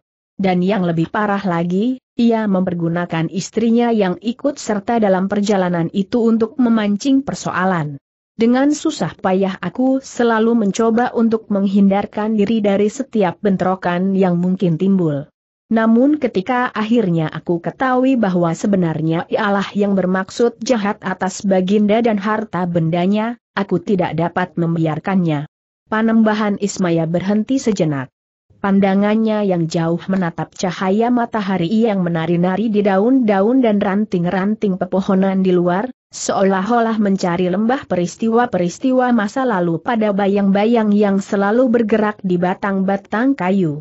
Kemudian, setelah menarik nafas panjang, ia kembali meneruskan, kemudian akulah yang sengaja membuat persoalan. Atau tegasnya aku sengaja menanggapi persoalan-persoalan yang dibuatnya. Agaknya darah mudaku pada saat itu sangat mempengaruhi jalan pikiranku, sehingga karena itu aku telah membuat suatu kesalahan. Seperti yang sekali dua kali pernah dilakukan, istri Tumenggung itu sengaja datang ke pondokku di belakang rumah yang dipergunakan sebagai pesanggerahan sederhana. Pada saat-saat sebelumnya, apabila perempuan itu datang, aku selalu pergi menghindar jauh-jauh. Sebab aku sudah dapat mengetahui maksud kedatangannya. Tetapi kali ini aku sengaja menemuinya. Aku ingin mendengar apa yang akan dikatakannya kepadaku, meskipun aku sudah dapat menduganya lebih dahulu. Ternyata dugaanku tidak jauh menyimpang. Perempuan itu mula-mula mencela suaminya, kemudian memuji-muji aku sebagai seorang pemuda yang gagah, tampan dan berani. Kemudian dengan selah yang dibuat-buat, ia mulai mengatakan tentang ketidakpuasannya terhadap suaminya, dan yang terakhir, yang tidak aku duga-duga bahwa sedemikian jauh pertentangan yang ingin dibuatnya, adalah perempuan itu minta tolong kepadaku, supaya aku membunuh suaminya. Tentu saja dengan pura-pura mengharap, supaya aku akan menggantikan suami itu. Sayang jawabku kepada perempuan itu berterus terang aku sudah tahu permainan yang harus kau lakukan. Bukankah dengan demikian setiap orang akan menuduh aku merebut istri orang? Suamimu mengharap aku akan menyerangnya. Siang atau malam, apabila laki-laki itu tampaknya sedang lengah. Namun sebenarnya ia telah siap membunuhku, sebab kau sudah memberitahukan kepadanya. Kalau laki-laki itu sudah berhasil melawan aku dalam suatu perkelahian, maka setiap orang akan meludah di hadapanku. Hidup atau mati. Nah, kalau demikian katakanlah kepadanya. Kalau ia menghendaki suatu perkelahian, suruhlah ia menantang aku sebagai seorang laki-laki. Ada atau tidak ada persoalan. Wajah perempuan itu menjadi merah. Tetapi agaknya ia memang perempuan yang cerdik. Aku mengharap ia akan marah, dan berlari menyampaikan kata-kataku kepada suaminya. Tetapi ia tidak berbuat demikian. Wajahnya yang merah itu sesaat kemudian telah cerah kembali. Sambil tersenyum-senyum ia mendekati aku. Katanya kau laki-laki jujur. Sayang kau masih terlalu muda untuk menanggapi persoalan. Agaknya Raden belum mengenal aku sungguh-sungguh. Mula-mula aku menjadi gemetar ketika tiba-tiba perempuan itu meraba tubuhku. Bahkan kemudian aku menjadi muak. Dan karena itulah aku berbuat kesalahan. Sebenarnya lebih baik sekali aku berlari jauh-jauh meninggalkan tempat itu. Tetapi aku tidak berbuat demikian. Ketika aku tidak dapat menahan perasaan muak yang bergolak di dalam dadaku, perempuan itu aku dorong keras-keras dan jatuh terbanting di lantai. Karena itulah maka tiba-tiba terdengar ia berteriak-teriak. Mula-mula aku menyangka bahwa ia berteriak karena kesakitan. Tetapi dugaanku itu ternyata keliru. Perempuan itu sama sekali tidak berteriak karena kesakitan. Ternyata beberapa saat kemudian terdengarlah langkah beberapa orang berlari-lari. Beberapa di antaranya langsung masuk ke dalam pondok. Hampir pecah kepalaku pada saat itu ketika aku mendengar perempuan itu berteriak lelaki gila. Aku diseretnya kemari dengan kasarnya, semua mata terarah kepadaku. Di antaranya adalah sepasang mata laki-laki tamat, suami dari perempuan gila itu. Sambil menggeram mengerikan ia bertanya kepada istrinya dengan suara mengguntur. Hai perempuan rendah! Apa kerjamu di sini? Dengan suara tergagap perempuan itu menjawab aku tidak sengaja datang kemari. Aku berjalan di halaman untuk memetik sirih. Tetapi tiba-tiba aku diseret oleh laki-laki itu dengan laku seekor binatang kelaparan. Kembali laki-laki itu mengeram. Kemudian dengan pandang matu yang mengerikan pula ia bertanya kepadaku. Kau inakan nama istriku Raden. Sayang bahwa suaminya adalah seorang laki-laki yang mempunyai harga diri. Kalau kau inginkan dia, marilah kita selesaikan dengan care seorang laki-laki. Aku menjadi ragu. Untuk menjelaskan persoalan yang sebenarnya agaknya sama sekali tidak ada gunanya. Karena itu aku mengambil keputusan untuk menerima tantangannya. Bukankah aku memang ingin membuat perhitungan dengan Tumenggung itu? Namun sayang, sangatlah sayang. Bahwa tak seorang pun yang mengerti keadaan sebenarnya. Tak seorang pun yang mengerti isi hatiku yang sesungguhnya, kecuali seorang jajar tua yang sangat setia kepada Baginda. Dan jajar itu pula lah yang mengetahui segala seluk-beluk pokal tumenggung itu. Ia pula lah yang mendengar dengan telinganya sendiri, Bagaimana Tumenggung itu mengadakan pertemuan-pertemuan dengan para menteri yang sependapat dengan pikirannya. Tetapi ia hanyalah seorang jajar yang tidak berarti. Karena itu, apa yang didengar dan diketahuinya itu tak dapat dipercaya oleh siapa pun meskipun ia sudah pernah mengajukannya kepada Baginda lewat seorang bupati dalam yang boleh dipercaya. Bahkan akhirnya bupati itu yang semula tertarik kepada ceritanya berkata kepadanya jajar, agaknya kau terlalu letih. Karena kau bermimpi buruk. Akulah orang yang pertama-tama menaruh perhatian sepenuhnya atas keterangannya. Ia langsung berkata kepadaku, kepada adik Baginda. Ia mengharapkan keselamatan Baginda dapat terjamin. Akhirnya terjadilah perkelahian itu. Perkelahian yang ditunggui oleh beberapa orang saksi. Tumenggung itu agaknya yakin bahwa ia akan dapat membunuhku. Dengan demikian rencananya tidak akan terhalang. Ia memang pernah mengenal aku sebelumnya, dan aku pernah mengenalnya pula, sebagai seorang tumenggung dalam susunan keprajuritan Majapahit. Justru dalam kesatuan pengawal raja. Namun perkelahian itu berakhir sebaliknya. Aku pun kemudian kehilangan pengamatan diri, sehingga tanpa aku sadari, laki-laki itu terbunuh oleh tanganku. Mula-mula aku merasa bahwa akibatnya tidak akan terlalu jauh aku akan berusaha meyakinkan, bahwa apa yang sebenarnya terjadi tidaklah seperti yang diduga oleh banyak orang. Tetapi aku tidak mempunyai kesempatan. Untuk beberapa saat Panembahan Ismaya berhenti bercerita. Matanya yang memancar damai itu kemudian tampak sayu dan redup. Agaknya kenangan masa silam itu tidak begitu menyenangkan. Kemudian ia meneruskan. Ketika pertempuran itu berakhir beberapa orang sahabat Tumenggung itu mengangkat mayatnya pergi, sedang beberapa orang lain dengan pandangan yang aneh berkata kepadaku. Nah, Raden. Chuan sekarang berhak memiliki perempuan itu. Tentu saja aku terkejut. Karena itu aku jawab aku tidak perlukan perempuan itu. Beberapa orang itu mencibirkan bibirnya. Kata salah seorang di antaranya. Hektometer, Agaknya Tuan mau bermain-main saja dengan istri orang. Tetapi kemudian Tuan mengingkari kewajiban Tuan. Hampir saja aku meloncat dan membunuh orang itu pula, kalau tidak tiba-tiba saja semua orang tegak memandang ke suatu arah dan hampir bersamaan membungkuk dengan hormatnya. Agaknya Baginda datang pula ke tempat itu. Pada saat itu keringat dingin telah mengaliri segenap tubuhku. Aku tidak tahu apakah sebenarnya maksud kedatangan Baginda. Tetapi aku sudah menduga bahwa pasti ada hubungannya dengan perkelahian yang baru saja terjadi. Dan apa yang aku duga adalah benar.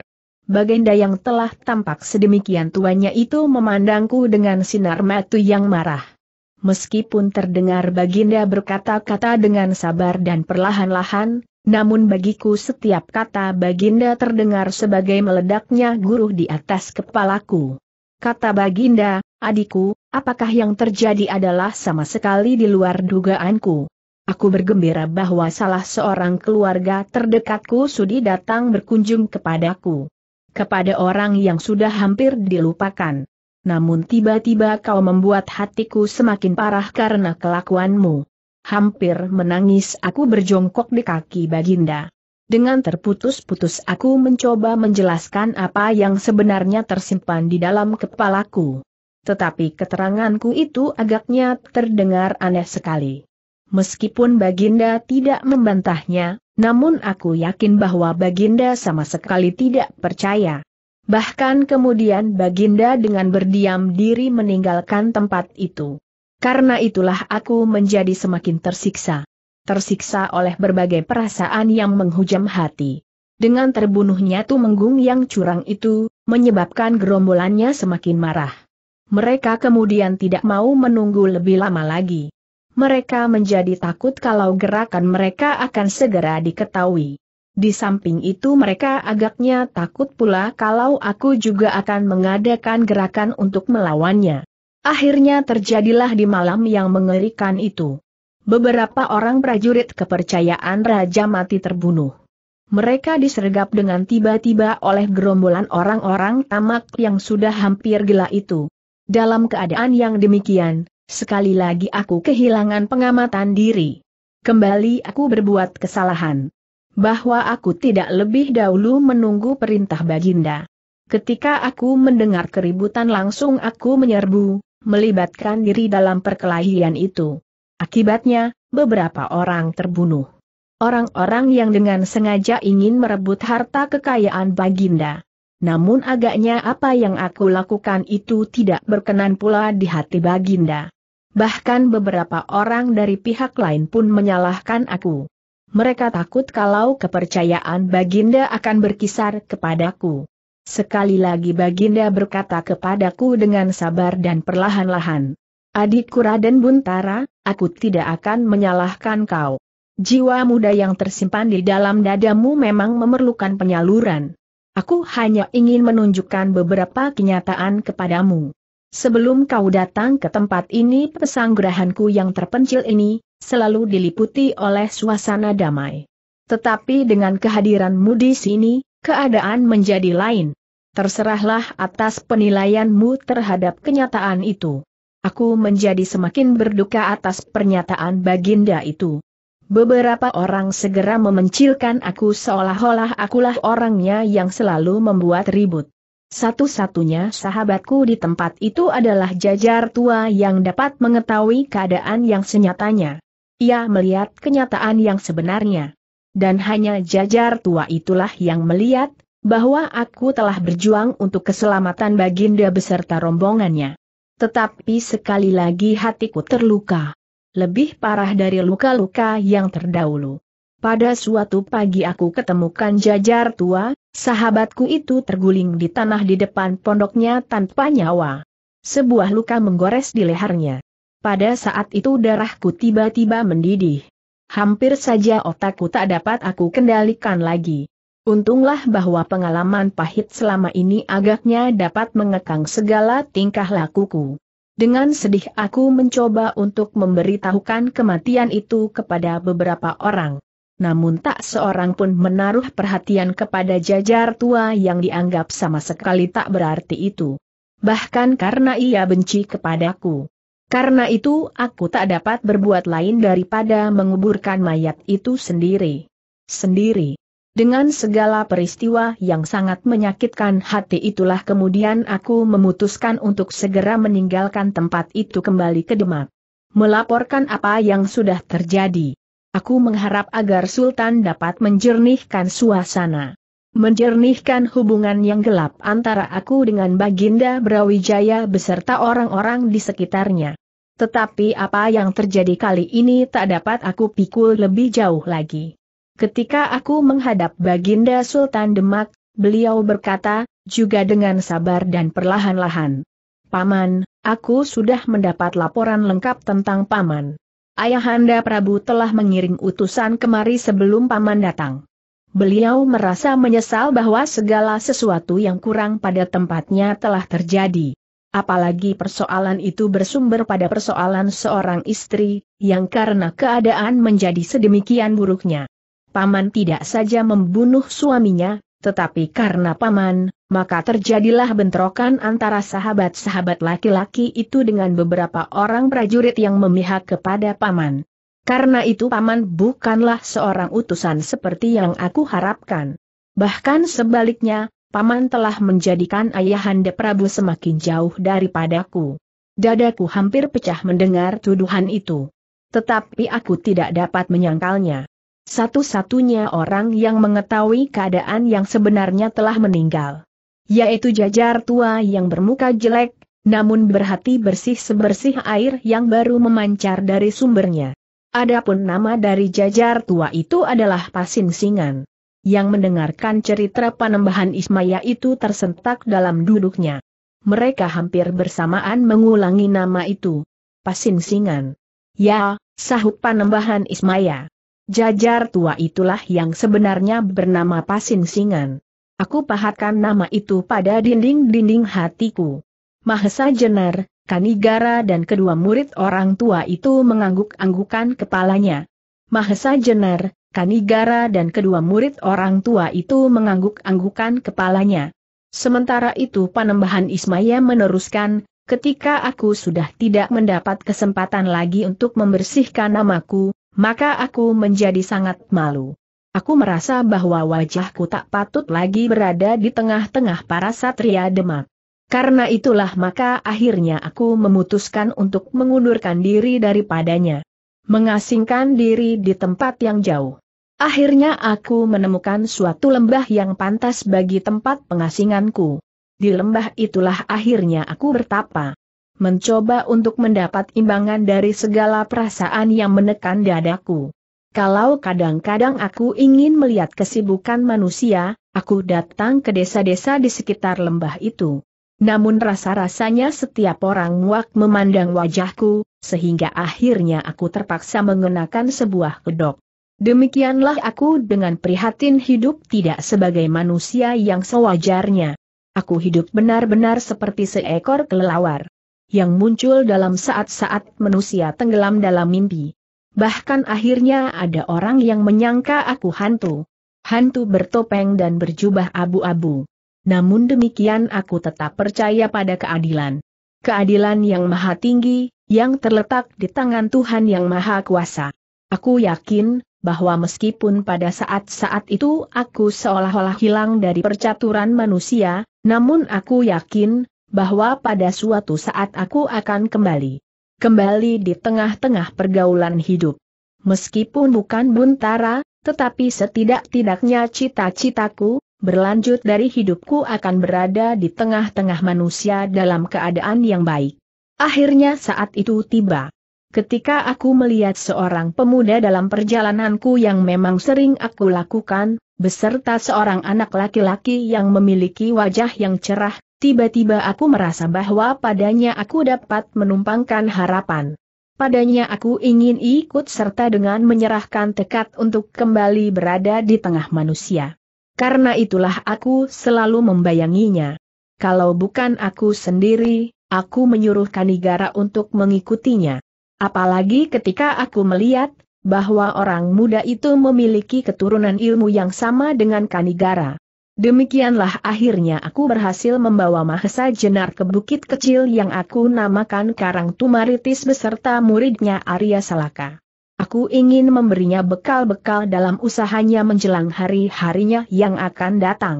Tidak saja naga sastra dan sabuk inten, tetapi juga berbagai macam ilmu sekadarnya. Tetapi agaknya otaknya terlalu jernih. Sehingga bersama-sama dengan Kanigara ia justru memaksa aku untuk mempercepat membuka diri. Untunglah bahwa segala sesuatunya bagiku sudah terasa matang. Sehingga meskipun aku dipaksa untuk membuka diri, tidak banyaklah pengaruhnya bagi semua rencana-rencana yang sudah aku siapkan. Yang mendengar cerita itu seolah-olah terpaksa menahan napasnya. Ternyata bahwa Panembahan Ismaya telah lama membayangi Mahesa Jenar. Teringatlah Mahesa Jenar, pada saat ia hampir kehilangan akal, ia telah dicegat oleh laki-laki berjubah abu-abu itu untuk meluruskan kembali jalannya.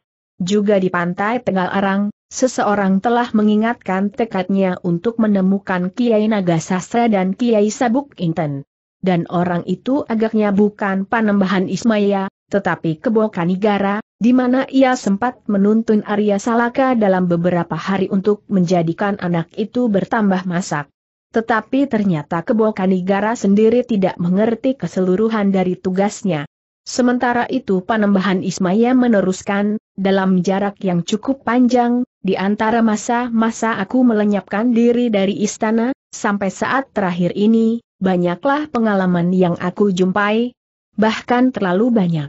Di dalam hidupku muncullah orang-orang seperti umbaran, yang mula-mula aku sangka orang yang berhati baik, namun akhirnya, ternyata bahwa ia telah menambah hidupku menjadi semakin buruk. Kemudian datanglah Radite dan Anggara. Kepadanya aku mula-mula menaruh harapan. Tetapi kembali umbaran merusak jalan hidup mereka. Sehingga Radite akhirnya tergelincir dan mengalami masa-masa seperti yang pernah aku alami mengasingkan diri di pudak bungkuran ini. Untunglah bahwa ia menemukan ruang gerak yang dapat menolong kepahitan masa lampaunya. Juga kemudian aku jumpai Kanigara dengan gadis kecilnya. Aku bawa ia ke Karang Tumaritis. Tetapi agaknya ia lebih cinta pada anak gadisnya daripada masa depannya sendiri. Sehingga seolah-olah, seluruh hidupnya telah diserahkan buat hari kemudian anaknya dan karena sifat kebapaan yang sedemikian dalamnya itulah, aku tidak sampai hati untuk memisahkannya dari anaknya, meskipun aku dapat menjamin masa depan anak itu. Karena itu, tugas yang aku bebankan padanya pun bukanlah tugas yang panjang-panjang. Sehingga ia akan selalu berada di samping gadis kecil yang sudah tak beribu lagi itu. Sehingga akhirnya aku dijumpai Mahesa Jenar beserta Arya Salaka. Meskipun dalam garis hubungan keluarga, ia tidak dekat Kanigara, namun karena ia berasal dari istana pula, maka aku mengharap agak banyak daripadanya. Mudah-mudahan Mahesa Jenar tidak akan menyia-nyiakan harapanku itu. Tiba-tiba Mahesa Jenar merasa, suatu beban yang sangat berat terpikul di atas pundaknya. Beban yang masih samar-samar. Apakah yang harus ia lakukan untuk memenuhi harapan panembahan tua itu? Karena itu ia sambil membungkukan kepalanya, bertanya kepadanya, panembahan, apakah agaknya yang harus aku lakukan untuk memenuhi harapan panembahan itu? Panembahan Ismaya mengangguk-anggukan kepalanya, katanya, hampir setiap orang telah melupakan nama Buntara. Mereka yang sekali dua kali teringat nama itu, terutama bagi mereka yang telah lanjut usia, akan mencibirkan bibir mereka. Tetapi itu tidak penting. Sebagaimana tekadku sejak masa mudaku, bagiku yang penting adalah keselamatan negeri di atas segala-galanya. Demikianlah hendaknya kau Mahesa Jenar. Adalah suatu kebetulan bahwa aku dapat menyimpan pusaka-pusaka yang hilang itu, yang justru akan dapat membantu membina kesejahteraan negara, dengan menyerahkannya kepada orang yang tepat. Nah, Mahesa Jenar, pekerjaan yang aku harap dapat kau lakukan, adalah mengadakan penilaian atas kedua keturunan yang sudah aku katakan kepadamu, kelak. Tetapi itu tidak berarti bahwa kau hanya menjadi penonton saja, namun dalam saat-saat yang perlu, kau harus ikut pula. Dengan demikian segala sesuatu kini menjadi jelas, kenapa Panembahan Ismaya bernama Pasing Singan dan kenapa ia sangat menaruh perhatian atas tata pemerintahan Demak. Setelah orang tua itu menarik nafas panjang, ia mulai lagi berkata, Mahesa Jenar, ternyata kau telah melakukan pekerjaan itu. Bahkan apabila kelak ada seorang pemimpin yang memiliki sifat-sifat kepemimpinan, disuyudi oleh para kawula serta berjiwa seperti jiwa lautan, karena memiliki Kiai Naga Sastra dan Kiai Sabuk Inten, yang akibatnya akan membawa kesejahteraan bagi tanah tumpah darah ini, sebagian adalah karena perjuanganmu. Perjuangan yang telah kau lakukan sejak lama. Perjuangan yang tak dikenal oleh siapa pun. Sebab perjuangan yang kau lakukan adalah perjuangan yang khusus. Tetapi aku percaya akan kebesaran jiwamu. Meskipun namamu kelak tidak akan dipahatkan di batu-batu ataupun tertulis di lontar-lontar kitab babat, namun kaulah kekat dari kemenangan itu. Mendengar penjelasan itu, tiba-tiba bulu-bulu kuduk Mahasa Jenar meremang. Memang sejak semula ia sama sekali tidak bermimpi untuk mendapat tanda jasa di dadanya. Atau namanya digoreskan di pintu-pintu gerbang kota, serta di jalan-jalan raya. Yang diimpikan adalah kesejahteraan rakyat di bumi tercinta ini. Kesejahteraan lahir dan batin. Jasmaniah dan rohaniah. Dalam pada itu, terdengar panembahan Ismaya meneruskan, karena itu Mahesa Jenar, sebagian besar dari pekerjaanmu itu sudah selesai. Kau tidak perlu lagi bersusah payah mencari Kiai Naga Sastra dan Kiai Sabuk Inten, sebab kedua pusaka itu sudah di tanganku. Sementara itu, kau dapat menyelesaikan pekerjaanmu yang lain. Kau telah berjanji kepada sahabatmu Ki Ageng Gajah Sora untuk menuntun anaknya. Nah, lakukanlah itu baik-baik bawalah anak itu pada suatu tugas yang besar. Memperoleh kembali tanah pusaka baginya. Sementara itu biarlah aku berusaha mendapatkan kembali kebebasan gajah sora itu. Kemudian ruangan itu menjadi hening. Yang terdengar hanyalah tarikan nafas mereka yang duduk di dalamnya sambil mengurai gagasan masing-masing. Sehingga kemudian suasana itu dipecahkan oleh suara panembahan Ismaya dalam nada yang jauh berbeda dari semula. Katanya, nah, Paniling, Darba dan kedua kemanakannya. Aku sudah selesai bercerita. Sekarang berilah aku kesempatan untuk mengenal desamu yang sepi ini. Mendengar kata-kata itu Paniling seperti orang yang terbangun dari mimpi yang mengasyikkan. Dengan tergagap ia menjawab, baik, baiklah guru. Jangan panggil aku guru. Di sini aku adalah kakakmu, potong panembahan Ismaya. Namaku, ia berhenti mengingat-ingat, lalu lanjutnya, siapakah kau akan menyebut diriku kalau tetangga-tetanggamu bertanya namaku? Paniling tidak segera menjawab. Ia tidak tahu, nama apakah yang baik diterapkan pada orang yang menyebut dirinya kakaknya itu. Tiba-tiba Kebo Kanigara menyela, emong raga. Panembahan Ismaya tertawa, jawabnya, ah, seolah-olah aku hanya mementingkan masalah-masalah jasmaniah belaka. Tetapi nama itu baik. Memang kau pandai mencari nama. Baiklah aku pakai nama itu di sini, meskipun isi kata itu sendiri tidak begitu mapan bagiku. Kanigara sadar, bahwa memang nama itu tidak begitu menyenangkan, namun ia masih juga membela diri. Tetapi panembahan, bukankah nama itu akan menjadi aling-aling dari keadaan paman yang sesungguhnya? Bukankah di sini panembahan ingin menampakkan diri dalam wujud jasmaniahnya saja, tetapi bukan dalam wujud keseluruhan? Panembahan Ismaya mengangguk-anggukan kepalanya, jawabnya, baiklah, aku tidak keberatan. Demikianlah, untuk sehari dua panembahan Ismaya tinggal di rumah muridnya. Ia mencoba memenuhi harapan tetangga-tetangga Paniling, untuk sekali dua kali berkunjung ke rumah mereka berganti-ganti. Dengan penuh kesederhanaan panembahan Ismaya, Mahesa Jenar dan Kebo Kanigara bergaul dengan mereka. Meskipun demikian, apabila malam datang, serta pondok di ujung padukuhan itu telah menutup pintunya, Selalu terjadilah pembicaraan-pembicaraan yang jauh berbeda dengan setiap pembicaraan yang sederhana dengan para tetangga mereka. Tetapi di belakang pintu tertutup itu, Panembahan Ismaya selalu memberi kepada keempat orang yang terdekat daripadanya itu berbagai ilmu dan pengetahuan. Lahir dan batin. Bahkan diceritakan pula bagaimana ia memiliki segala macam kesaktian.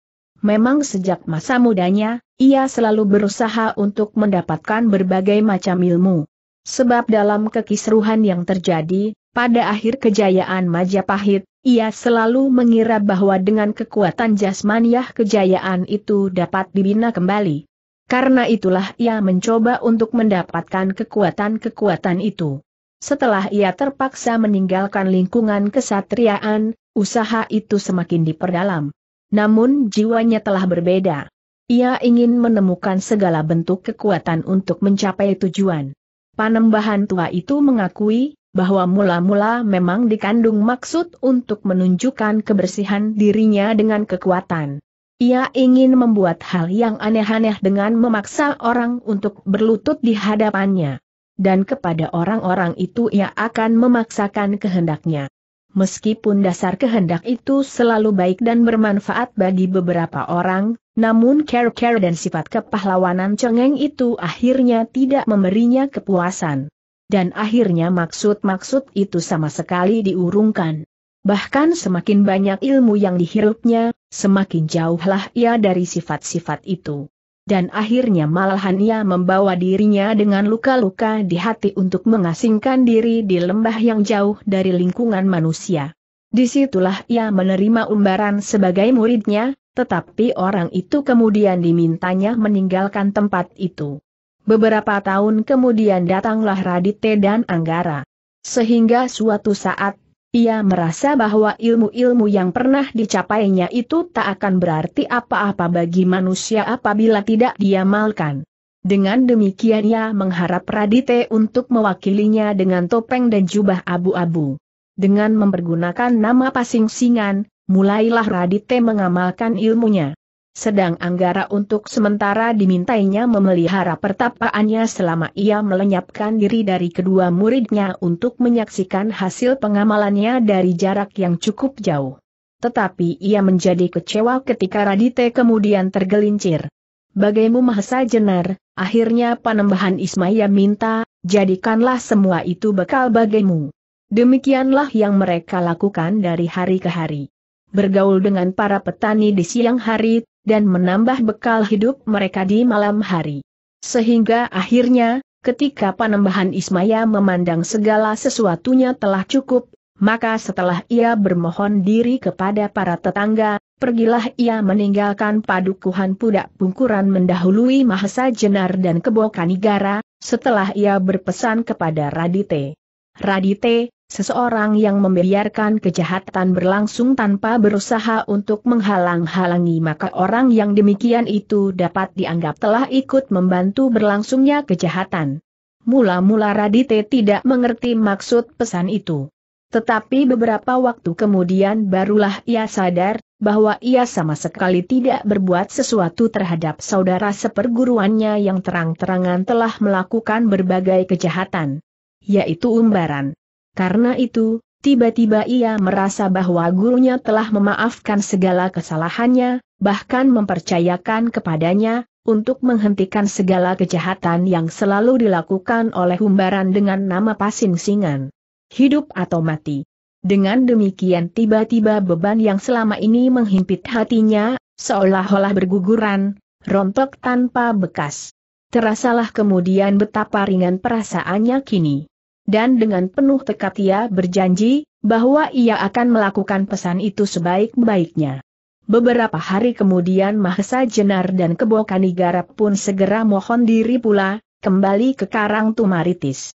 Kebo Kanigara telah merasa sedemikian rindunya kepada putrinya yang ditinggalkannya beberapa hari, sedang Mahesa Jenar pun ingin segera menemui muridnya untuk mengajaknya memulai dengan suatu tugas yang berat, kembali ke Banyu Biru.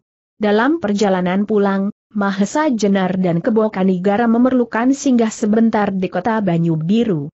Ketika malam turun perlahan-lahan di lereng-lereng Bukit Telamaya, mereka berdua menambatkan kuda mereka agak jauh di luar kota. Dengan berjalan kaki mereka menyusuri jalan-jalan kota. Satu dua masih tampak pintu rumah yang terbuka. Lampu minyak yang suam melemparkan cahayanya berpencaran menusuk gelap malam.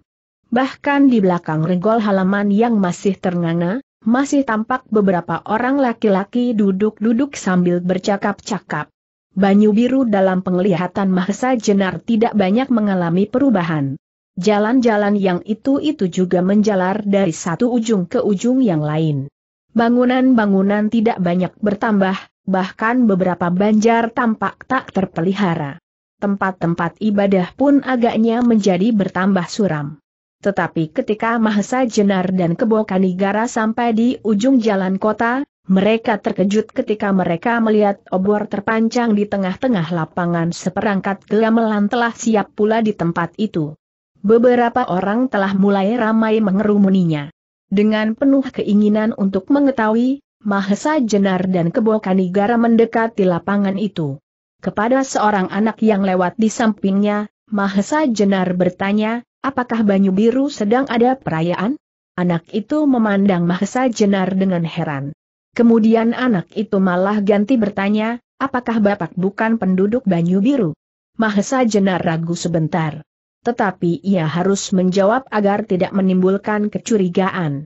Karena itu katanya, bukan, nak, aku bukan penduduk Banyu Biru. Aku datang dari Pangeran Tunan. Pangeran Tunan anak itu tiba-tiba terkejut. Kembali Mahesa Jenar ragu. Namun ia mengangguk. Ya, kenapa? Tidak apa-apa, jawab anak itu. Beberapa hari yang lalu beberapa orang pangeran Tunan juga datang kemari. Mereka adalah saudara-saudara ibuku. Menurut paman-paman itu, pangeran Tunan sekarang kembali kacau. Mereka ketakutan karena si Marudra tua sering mengunjungi pedukuhan itu. Apakah betul demikian? Dan apakah betul si Marudra tua itu menuntut lebih banyak dari si Marudra dahulu? Betul, nak, Jawab Mahasa Jenar sekenanya, namun karena itu ia ingin lebih banyak tahu. Karena itu ia bertanya, siapakah pamanmu itu? Dan apakah yang dilakukan di sini? Pamanku bernama Reksadipa. Ia datang untuk melaporkannya kepada Ki Ageng Lembu Sora, jawab anak itu. Mahesa Jenar mengangguk-anggukan kepalanya. Lalu sahutnya, hem, jadi kau kemenakan Kakang Reksadipa, Kemudian Mahesa Jenar berhenti sebentar. Lalu apa katanya ketika ia kembali ke Pangeran Tunan? Tidak apa-apa, anak itu menjawab, tetapi paman mengeluh. Katanya Ki Ageng Lembu Sora sedang akan mempertimbangkan. Tetapi itu tidak bijaksana. Sebab menurut Paman, keadaan sudah sangat gawat. Dan rakyat Pangrantunan sendiri tidak mampu untuk melawan mereka, meskipun rakyat Pangrantunan tidak takut. Mahesa Jenar menarik nafas panjang. Memang letak Pangrantunan yang seolah-olah berhadapan dengan Gunung Tidar itu sangat tidak menguntungkan. Tetapi menghadapi hal sedemikian tidakkah Ki Ageng Lembu Sora di Payana dapat berbuat sesuatu? Namun kepada anak itu sudah pasti Mahesa Jenar tidak bertanya demikian. Karena itu ia bertanya tentang obor dan gamelan yang sudah siap di lapangan itu.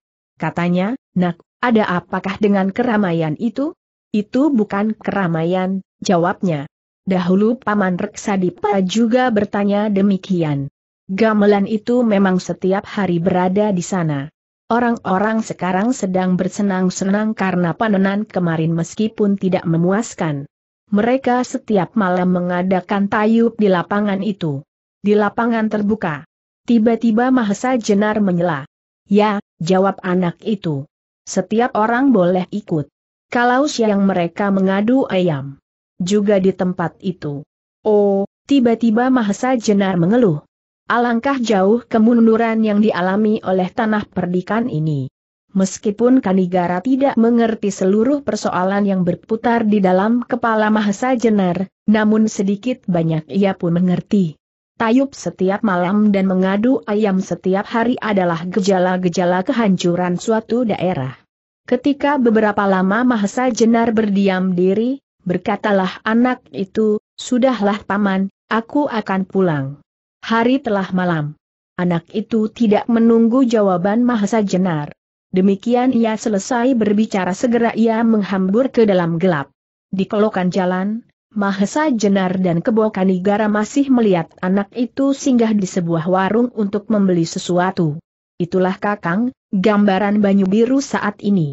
Suram dan mengerikan.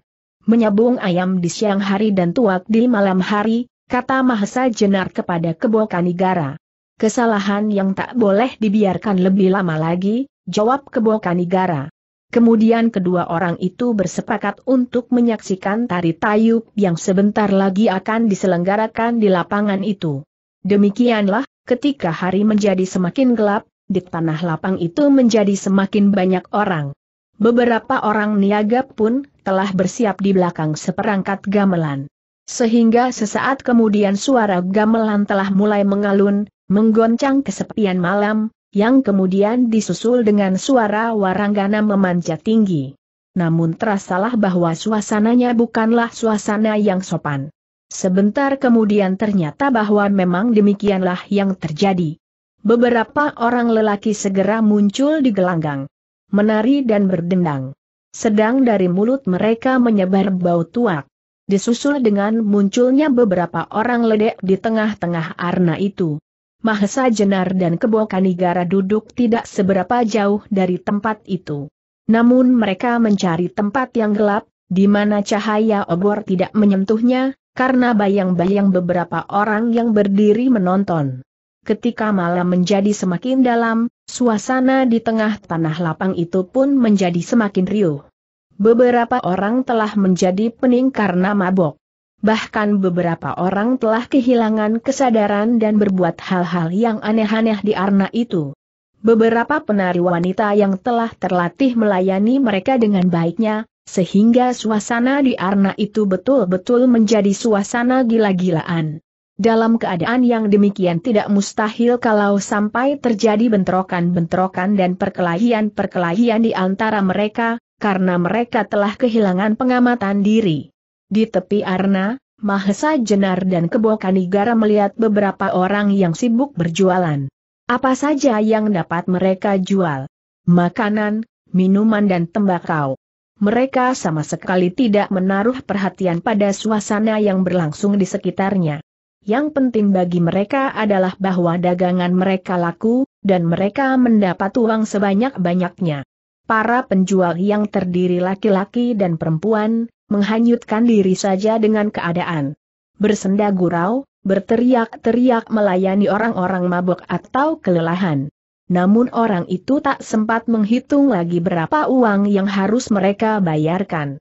Asal mereka menggenggam uang logam, mereka lemparkan begitu saja kepada penjualnya, perempuan-perempuan muda yang merajuk dengan manjanya. Tetapi tiba-tiba Matu Mahasa Jenar dan Kebo Kanigara sempat melihat seorang perempuan yang berdiri tegak agak di kejauhan. Nampaknya ia ragu-ragu untuk mendekati tempat itu. Tetapi kemudian perlahan-lahan ia melangkah maju. Ketika ia menjadi semakin dekat, dan seleret sinar lampu para penjual menyambar wajahnya, Tampaklah bahwa perempuan itu memiliki ciri-ciri yang lain dari setiap perempuan yang berada di tanah lapang itu. Wajahnya yang sayu pucat dan tubuhnya yang kekurus-kurusan, seolah-olah mencerminkan perasaannya yang sedih. Ketika beberapa orang melihatnya, segera mereka melemparkan pandangan mati mereka. Tetapi ada juga orang yang dengan nada mengejek berteriak, marilah nyai. Apakah yang kau cari? Perempuan itu tidak menjawab. Tetapi segera matanya memandang berkeliling, kepada hampir semua orang yang berdiri di sekitar Rarna itu. Seakan-akan ia sedang mencari seseorang di antara wajah-wajah itu. Anakmu tidak berada di sini, Nyai, teriak salah seorang, yang kemudian disusul dengan gelak tawa. Karilah anak itu di tengah rimba, sambung suara yang lain. Mungkin ia berada bersama bapaknya, kembali terdengar suara bergelak-gelak. Perempuan itu masih berdiam diri, berdiri seperti patung. Namun dengan demikian Mahasa Jenar dan Kebo Kanigara dapat memandangnya lebih jelas. Dari sinar matanya, mereka dapat menduga bahwa karena sesuatu penderitaan, orang itu agaknya menjadi agak terganggu kesadarannya. Meskipun tidak begitu berat. Ketika kemudian dilihatnya dari mata perempuan itu menitik butiran-butiran air. Mahesa Jenar dan Kebo Kanigara menjadi yakin bahwa sesuatu benar-benar telah menghimpit perasaannya. Ternyata mereka tidak perlu terlalu lama berteka-teki ketika terdengar seorang laki-laki berkata dengan kasarnya, suamimu tak berani pulang, nyai. Demikianlah hukuman bagi pemberontak. Dan bayimu yang mati itu tidak akan bisa hidup lagi apalagi ikut bersenang-senang bersama kami sekarang, tak ada tempat bagi laki-laki semacam suamimu itu. Air mata di wajah perempuan itu menjadi semakin deras. Agaknya ia dapat mengerti, bahwa suaminya tidak berada di tempat itu. Kemudian terdengarlah suara lain yang bertanya, siapakah dia? Istri penjawi, jawab suara yang lain lagi. Oh, karena itulah ia masih muda dan cantik, sahut suara yang pertama. Kalau begitu kenapa tidak saja ia kau ajak menari? Tidak mau. Ia baru saja kematian bayinya. Mungkin dua tiga hari lagi, sahut suara lain yang disusul dengan gelak tertawa orang banyak. Di antara suara yang riuh, di sela-sela suara gamelan yang semakin menggila itu tiba-tiba terdengarlah suara yang berat mengatasi yang lain. Katanya, aku tidak percaya kalau ia tidak mau. Ataupun kalau ia tidak mau, seret saja ia ke Arna. Oleh suara yang berat itu, tiba-tiba semua terdiam. Dan semua mata memandang ke arah suara itu. Seorang yang tinggi besar dan berwajah kasar berdiri bertolak pinggang di pinggir Arna. Sedang bola matanya dengan tajam memandang istri penjauhi itu seperti hendak meloncat dari kepalanya. Sambungnya, ternyata ledek banyu biru tak ada yang secantik ledek-ledek dari Pamingit. Dan perempuan itu agaknya akan bisa setidak-tidaknya menyamainya. Orang yang berwajah kasar itu maju beberapa langkah ke arah perempuan muda yang disebut istri penjawi, yang kemudian menjadi ketakutan. Apalagi ketika orang itu meneruskan kata-katanya. Sayang bahwa wajah yang cantik itu tidak mendapat pemeliharaan. Ketika orang yang tinggi besar dan berwajah kasar itu melangkah terus, keadaan segera menjadi tegang. Tetapi beberapa orang yang mabok mulai tertawa-tawa kembali dan menganggap bahwa apa yang akan terjadi merupakan suatu tontonan yang menyenangkan. Namun beberapa orang lain, yang kepalanya juga sudah mulai pening-pening, segera merasa tersinggung. Bahkan seorang yang sudah setengah mabuk berteriak, Hei, monyet dari Pamingit! Jangan ganggu orang Banyu Biru. Aku sendiri sudah lama jatuh cinta kepadanya. tetapi aku tidak mendapat kesempatan. Nah, sekarang suaminya mungkin sudah mampus ditelan macan. Karena itu, perempuan itu akan aku ambil sebagai istriku yang muda. Orang yang bertubuh tinggi besar itu menoleh. Dilihatnya seseorang yang bertubuh sedang, namun kokoh kuat seperti orang hutan berjalan mendekatinya. Tampak bibir orang pamingit itu bergerak-gerak mengejek. Kemudian terdengar ia menjawab, jangan terlalu kasar berkelakar sahabat. Orang Banyu Biru harus menghormati orang-orang pamingit. Sebab Banyu Biru sekarang berada di bawah pemerintahan pamingit. Kalau kau tidak mau mati, jangan ganggu aku. Biarkan orang pamingit berbuat sesuka hatinya. Bahkan istrimu pun kalau aku kehendaki harus kau serahkan. Met orang banyu biru yang kokoh kuat itu segera menyala marah. Dengan membentak-bentak ia menjawab, jangan banyak mulut. Pergi atau kau akan segera jadi bangkai. Pertunjukan itu segera terhenti karena ribut-ribut yang terjadi. Beberapa ledek yang sedang menari-nari dengan tenangnya berjalan ke tengah-tengah jajaran gamelan dan duduk di antara para niaga. Mereka sama sekali tidak menunjukkan perasaan cemas atau takut. Hal yang demikian sudah sering terjadi. Tetapi ketika mereka mendengar bahwa pertengkaran itu terjadi antara orang Pamingit dan Banyu Biru, perhatian mereka agaknya tertarik juga. Salah seorang ledek dengan memanjangkan lehernya, berusaha melihat mereka yang bertengkar, lalu bertanya, siapakah yang bertengkar? Terdengarlah seorang niaga menjawab, jiwala dengan orang pamingit. Ketika ledek itu berhasil melihat orang pamingit yang tinggi besar berwajah kasar itu, ia tertawa sambil menyubit kawannya.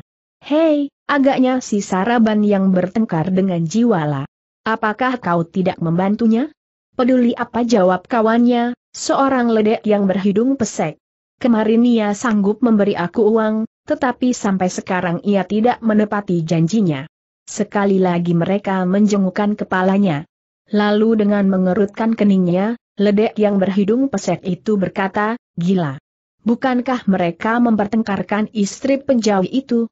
Sekali lagi kawannya mencubitnya sambil tertawa. Hi, kau agaknya mendapat saingan. Kalau Saraban menang, kaulah yang harus berkelahi melawan istri penjauh itu. Kawannya tidak menjawab, tetapi ia semakin merengut. Mendengar percakapan itu Mahesa Jenar dan Kebo Kanigara terpaksa menahan nafas. Tetapi hatinya mengeluh. Sampai sedemikian jauh orang-orang Banyu Biru terperosok ke dalam jurang yang mengerikan. Dalam pada itu, orang Banyu Biru yang bernama Jiwala itu pun sudah berdiri di hadapan Saraban. Dengan bertolak pinggangnya memandang orang pamingit itu dari ujung rambut sampai ke ujung kakinya. Sedang orang pamingit itu mengawasinya dengan marah. Tetapi sebentar-sebentar mereka berdua terpaksa menengok ke arah perempuan yang kekurus-kurusan dan berdiri dengan gemetar di pinggir tanah lapang itu. Ternyata sedemikian ketakutan, sampai istri penjauh itu tidak tahu apa yang harus dilakukan. Dalam pada itu sekali lagi Saraban membentak, pergi. Jangan halang-halangi aku. Jiwala tidak menjawab, tetapi dengan tangkasnya ia menyerang perut Saraban. Namun agaknya Saraban pun bukan orang yang dapat diremehkan. Demikian tangan Jiwala terulur ke arah perutnya, dengan cepatnya ia memiringkan tubuhnya dan sekaligus kakinya menyambar dada lawannya. Jiwala yang sedang mabuk itu tidak sempat menghindarkan dirinya, sehingga terasa kaki orang yang bertubuh tinggi besar itu mendorong tubuhnya kuat-kuat. Demikianlah ia terlempar beberapa langkah dan jatuh berguling. Agaknya tendangan orang pamingit itu cukup keras, karena ternyata setelah bersusah payah berusaha barulah Jiwala dapat bangun.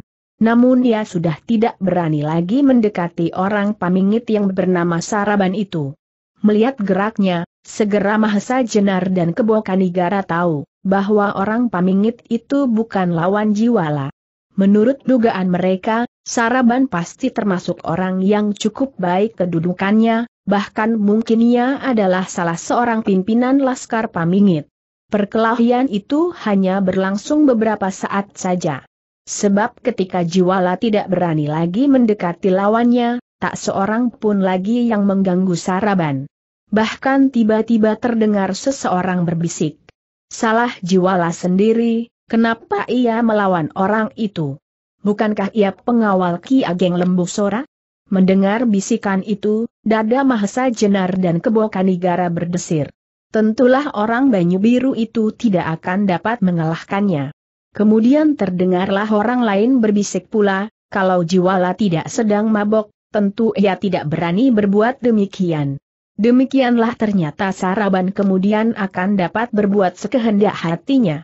Kembali dengan wajah yang menakutkan, ia memandang istri penjawi yang berdiri gemetar.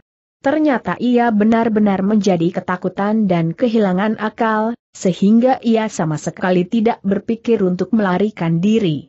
Mula-mula ia mengharap bahwa ada orang yang menolongnya, tetapi dengan jatuhnya jiwala, harapannya menjadi lenyap. Mula-mula Saraban itu masih memandang berkeliling. Agaknya ia masih mencari lawan untuk menunjukkan kekuatannya. Ketika tak seorang pun yang berani mengganggu lagi, barulah setapak demi setapak ia mendekat. Nyi penjauhi menjadi semakin ketakutan.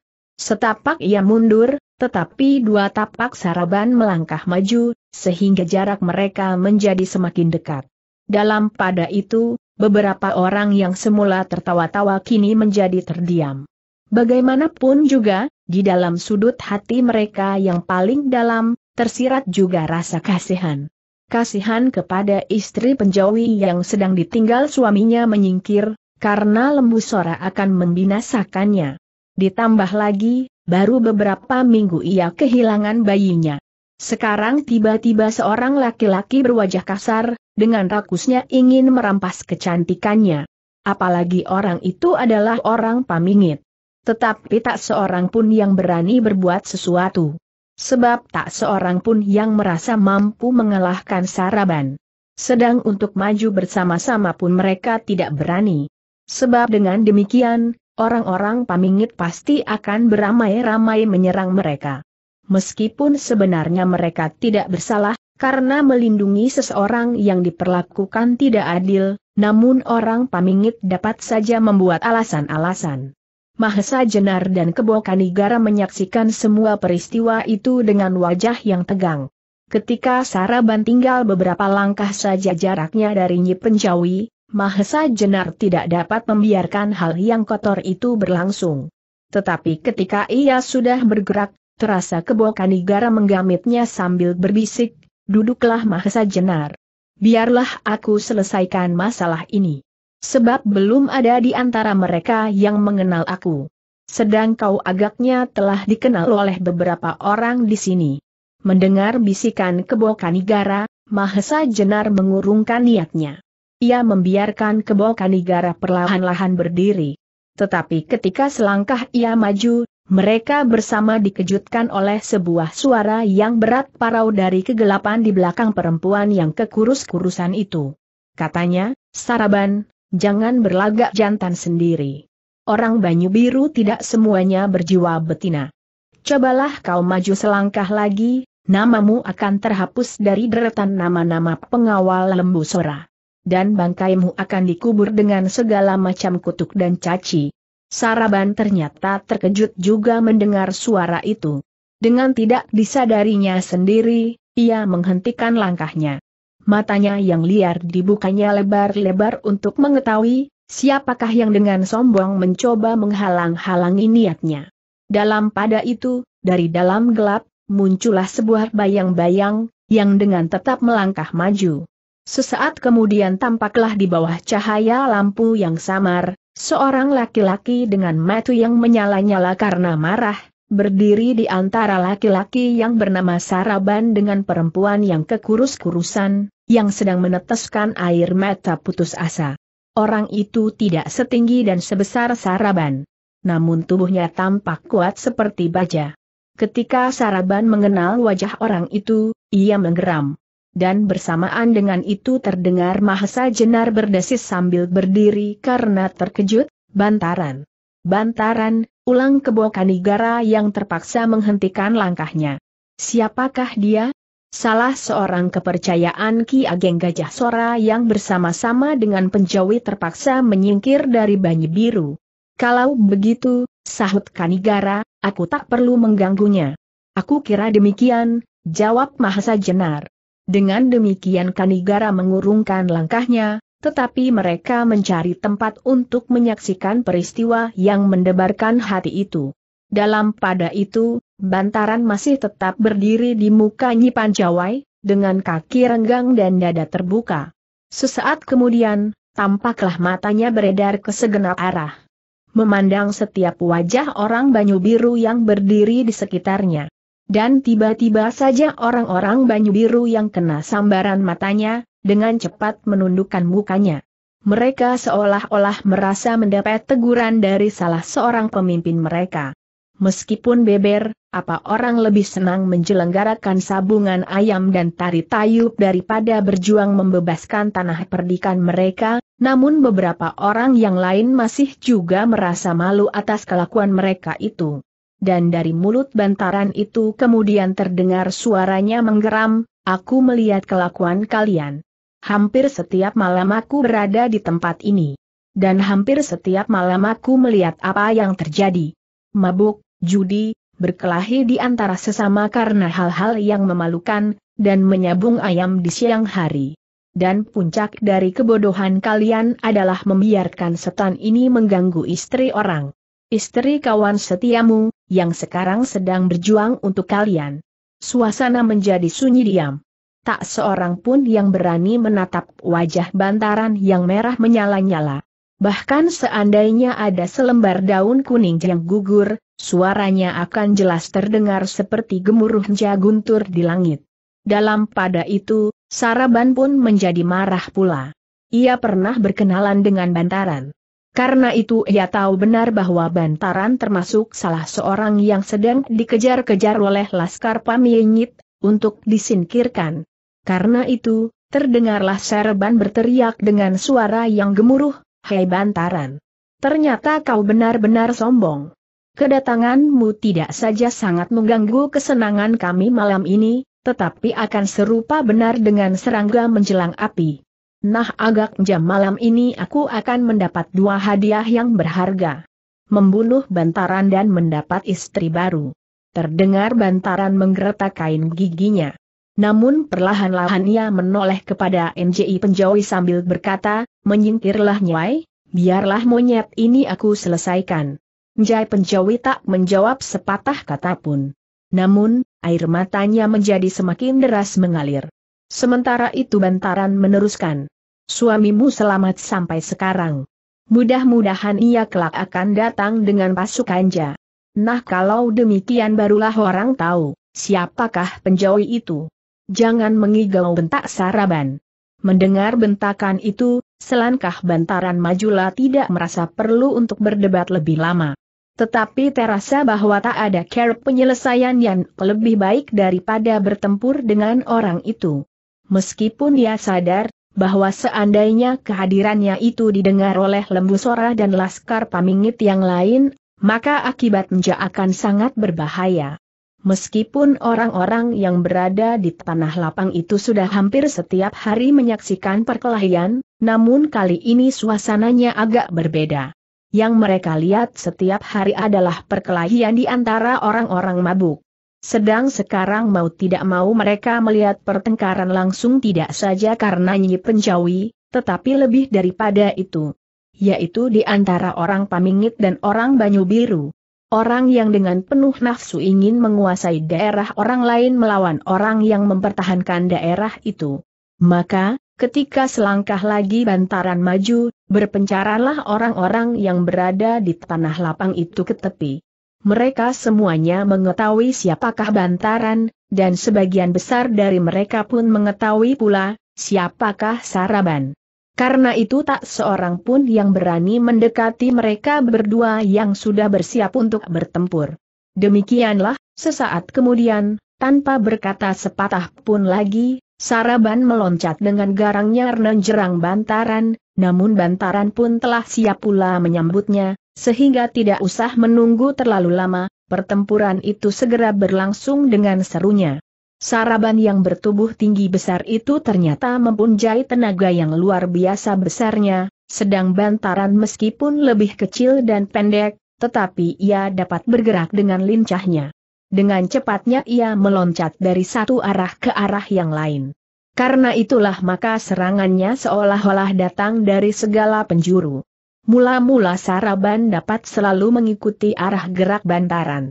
Bahkan sekali dua kali serangannya yang berbahaya dapat memaksa bantaran melontar selangkah dua langkah mundur. Tetapi lama-kelamaan kaki bantaran semakin lincah melontar-lontarkan tubuhnya ke sana kemari, sehingga akhirnya Saraban menjadi bingung. Beberapa kali bantaran berhasil memancing lawannya menghadap ke arah yang salah, sehingga dalam keadaan yang demikian, meloncatlah serangan-serangan bantaran yang dahsyat. Untunglah bahwa tubuh Saraban benar-benar keras seperti kayu. Sehingga untuk beberapa lama ia dapat bertahan. Namun karena serangan bantaran itu datang bertubi-tubi bahkan kemudian seperti aliran air terjun, maka, akhirnya dia terasalah bahwa Saraban mulai terpaksa bekerja mati-matian. Dan beberapa saat kemudian terpaksalah orang pamingit yang bertiubuh tinggi besar itu mengeluh. Tetapi meskipun demikian, ia masih juga berusaha sekuat tenaganya untuk dapat mengimbangi lawannya. Sekali dua kali tangannya yang besar dan berat itu terayun dengan keras jadi disusul dengan lontaran kakinya di barangki teriakan yang memekakkan telinga. Namun bantaran selalu berhasil menghindar dan kemudian meloncat maju membalas menyerang. Meskipun tenaganya tidak sebesar orang pamingilt itu, namun pukulannya yang selalu mengarah ke tempat-tempat yang ringkih, menjakan Saraban terdesak terus. Ketika Saraban lengah, tangan bantaran berhasil masuk di antara kedua tangan lawannya yang bersilang, mengenai rahangnya. Dengan kerasnya muka Saraban terangkat disusul dengan sebuah pukulan ke arah perut. Terdengarlah Saraban mengaduh pendek sambil membungkukan badannya. Pada saat itu, sekali lagi tangan bantaran terayun deras sekali. Namun agaknya Saraban melihat arah sambaran tangan lawannya. Dengan sisa tenaganya ia menghindar ke samping. Dengan demikian serangan bantaran tidak mengenai sasarannya. Bahkan tubuhnya terbawa beberapa langkah maju, terseret oleh ayunan tangannya. Saraban melihat kesempatan itu. Dengan sekuat tenaga yang masih ada ia memukul tengkuk bantaran. Namun bantaran yang masih segar ternyata sudah dapat memperbaiki kedudukannya menghadapi serangan itu. Demikian tangan Saraban terjulur, dengan kecepatan kilat tangan itu ditangkapnya sambil memutar tubuhnya dan merendahkan diri. Bantaran menjangkau kepala Saraban dari atas pundaknya. Dengan menghentakkan kekuatan. Bantaran menarik orang pamingit yang bertubuh besar itu, sehingga melontar dengan kerasnya, dengan kaki terputar ke atas. Kemudian dengan gemuruhnya tubuh Saraban terbanting di tanah. Semua orang yang menyaksikan kesudahan dari perkelahian itu menahan nafasnya. Meskipun orang-orang Banyu Biru menjadi cemas atas peristiwa itu, namun mereka di dalam hatinya bangga juga atas keunggulan orang Banyu Biru atas orang Pamingit. Bantaran yang telah berhasil menjatuhkan lawannya, berdiri dengan tegap di depan tubuh Saraban yang sudah tak berdaya lagi untuk bangkit. Sekali lagi ia memandang berkeliling, ke arah wajah-wajah orang Banyu Biru yang berdiri di sekitar tempat perkelahian itu. Dan sekali lagi wajah-wajah orang Banyu Biru itu terbanting di tanah yang ditumbuhi rumput dengan suburnya. Dalam pada itu terdengarlah suara bentaran parau, saudara-saudaraku, rakyat Banyu Biru. Aku menyesal atas semua yang telah terjadi di tanah perdikan ini. Kalian ternyata telah terbius oleh pemanjaan nafsu yang tak terkendali. Tetapi dengan peristiwa ini, kalian tidak akan dapat untuk seterusnya berpangku tangan. Sebab kawan-kawan orang pamingit itu tidak akan tinggal diam. Dan akibatnya akan dapat kalian rasakan. Untuk seterusnya kalian hanya dapat memilih, menangkap aku, lalu menyerahkan kepada lembu sora, yang dengan demikian kalian akan bebas dari pembalasan dendam, atau bangkit melawan kekuasaan pamingit atas tanah kita sambil menunggu kehadiran pemimpin kita Ki Ageng Gajah Sora atau putranya Arya Salaka. Tak seorang pun yang menyatakan pendapatnya. Dan memang demikianlah perasaan mereka yang mendengar kata-kata bantaran. Sebagian di antara mereka menjadi malu atas kelakuan mereka, tetapi memang ada juga di antaranya yang di dalam hatinya mengumpati bantaran. Sebab dengan perbuatannya itu, pastilah akan terjadi hal-hal yang sama sekali tak dikehendaki. Orang-orang pamingit pasti akan datang ke tempat itu dan mengaduknya. Menangkapi orang-orang yang dicurigainya, memukuli mereka tanpa alasan untuk melampiaskan dendam mereka. Belum lagi gemas suara bantaran itu lenyap, tiba-tiba terdengarlah derap beberapa ekor kuda dengan kencangnya menuju ke tanah lapang itu. Mendengar derap yang berdatangan bantaran tampak terkejut. Segera ia tahu apakah yang sebentar lagi akan terjadi. Meskipun demikian ia tetap tenang. Dan dengan tenang pula ia berkata lantang, rupa-rupanya ada juga pengkhianat-pengkhianat di Banyu Biru ini dan agaknya mereka telah melaporkan kehadiranku. Orang-orang yang berdiri di tanah lapang itu segera menjadi gelisah. Beberapa orang telah bersiap untuk melarikan diri. Tetapi mereka sama sekali tidak mendapat kesempatan. Sebab dalam waktu yang sangat singkat, beberapa orang berkuda telah datang dan langsung mengepung tanah lapang itu di empat penjuru. Bantaran masih dalam sikapnya yang tenang, memandang berkeliling kepada kira-kira 10-12 orang yang masih berada di atas punggung kuda mereka. Wajah para penunggang kuda itu tampak garang-garang, sedang di tangan mereka masing-masing tergenggam senjata. Ada yang berupa tombak, pedang atau macam-macam senjata yang lain. Dua orang di antara mereka, mendorong kuda mereka agak ke depan. Rupa-rupanya dua orang itu adalah pemimpin rombongan. Salah seorang daripadanya terdengar berteriak dengan suara yang nyaring, Hai orang-orang Banyu Biru yang tak tahu diri. Katakanlah kepada kami, siapakah di antara kalian yang bernama Bantaran? Bantaran masih tegak di tempatnya. Tetapi karena kekacauan yang timbul, karena beberapa orang yang ingin melarikan diri, maka di sekitarnya pun telah berdiri beberapa orang dengan tubuh gemetar sehingga orang-orang berkuda itu tidak segera dapat melihat tubuh Saraban yang terkapar di tanah. Suara pemimpin rombongan berkuda yang bergeletar memenuhi tanah lapang itu untuk beberapa lama tidak mendapat jawaban. Karena itu ia mengulangi, ayo, katakanlah kepada kami, siapakah di antara kalian yang bernama Bantaran? kalau tidak ada di antara kalian yang mau menunjuk batang hidungnya, maka semuanya yang berada di tanah lapang ini akan kami bawa. Sesudah itu janganlah kalian mengharap untuk bertemu kembali dengan anak istri kalian, bantaran menarik nafas dalam-dalam sambil menekan dadanya. Sudah tentu ia tidak menghendaki sekian banyak orang menjadi korban untuk dirinya. Meskipun demikian sekali dua kali tampaklah ia menoleh ke arah Nyi Penjawi yang berdiri tidak jauh di belakangnya.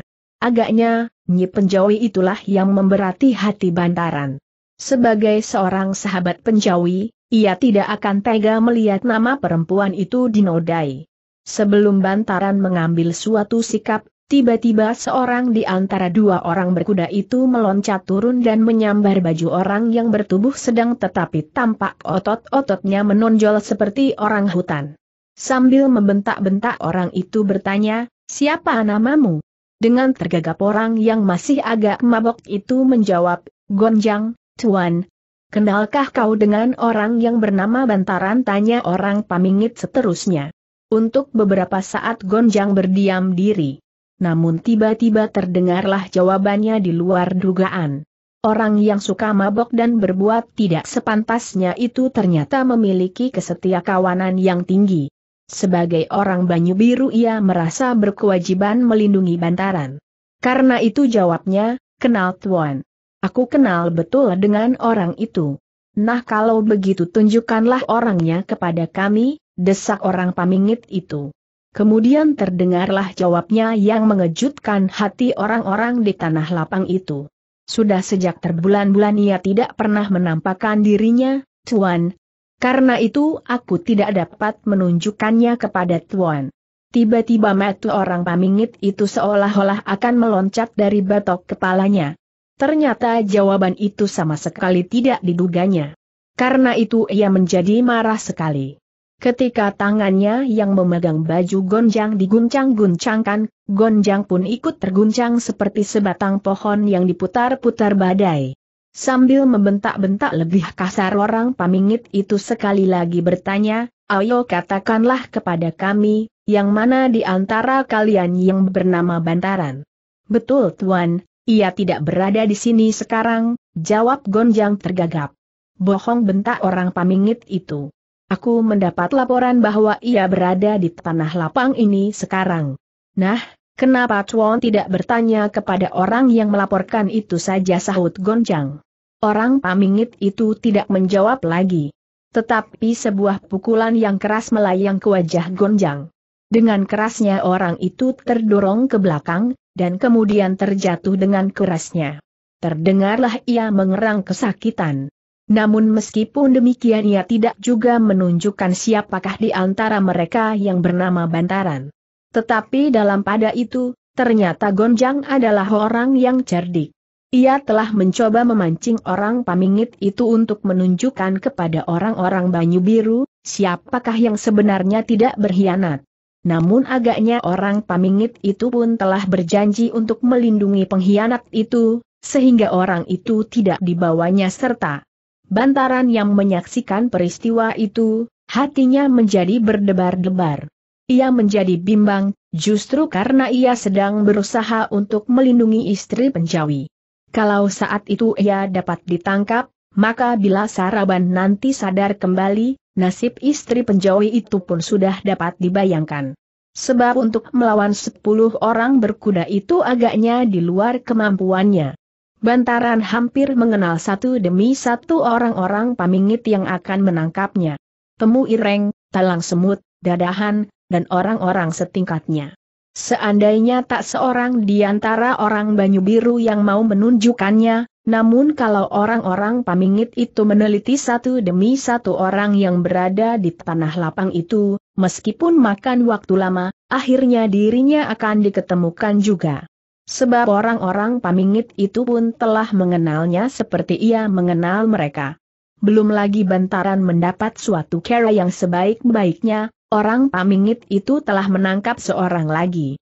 Seorang muda yang berwajah tampan, berkumis sebesar lidi. Pakaiannya terbuat dari kain lurik yang mahal. Tetapi demikian ia diseret ke depan, tubuhnya tiba-tiba serasa lumpuh. Dan ketika orang pamingit itu membentaknya, ia menjadi pingsan. Akhirnya Bantaran mengambil suatu ketetapan untuk menyatakan dirinya di hadapan orang-orang pamingit itu sebelum jatuh korban lebih banyak lagi. Ia akan mencoba melawan dan menimbulkan kekacauan, sementara itu ia berharap Nyi Penjawi sempat melarikan diri. Tetapi ketika Bantaran bermaksud membisiki Nyi Penjawi tentang maksudnya itu, Tiba-tiba di antara sekian banyak orang yang berdiri di tanah lapang itu muncullah seseorang yang bertubuh sedang, tegap dan berdada bidang dengan suara yang berat namun penuh wibawa ia berkata nyaring, Hai, orang-orang pamingit. Inilah bantaran. Semua yang berada di tanah lapang terkejut mendengar pengakuan itu. Untuk sesaat kembali tanah lapang itu menjadi hening sunyi. Sesunyi tanah pekuburan. Tetapi dalam pada itu semua mata bergerak ke arah seorang yang berjalan perlahan-lahan namun pasti, menyibak orang-orang yang berada di depannya, menuju ke arah dua orang yang agaknya memimpin rombongan orang-orang pamingit itu. Ketika mereka melihat orang itu, sekali lagi mereka terkejut. Dan yang lebih terkejut adalah bantaran sendiri. Orang-orang Banyu Biru menjadi bertanya-tanya di dalam hati, Siapakah orang yang telah dengan beraninya menamakan dirinya bantaran di hadapan sepuluh orang pamingit yang garang-garang itu? Tetapi, sesaat kemudian bantaran menjadi sadar, bahwa seseorang telah mencoba melindunginya. Namun orang itu belum pernah dilihatnya. Nyai, bisik bantaran kepada Nyi Penjawi, adakah ia orang baru? Nyai Penjawi menggelengkan kepalanya. Aku belum pernah melihatnya, Kakang. Bantaran menarik nafas dalam-dalam. Ia mencoba menebak, siapakah orang yang telah mencoba menyelamatkan dirinya itu. Tetapi tiba-tiba ia menjadi cemas atas keselamatan orang itu. Dua orang pemimpin rombongan orang-orang pamingit itu bukanlah orang yang dapat diajak terbicara. Mereka adalah Temu Ireng dan Talang Semut. Dua orang yang lebih suka mempergunakan tangannya daripada mulutnya. Apalagi pengakuan orang itu hanya akan mendatangkan bencana saja baginya.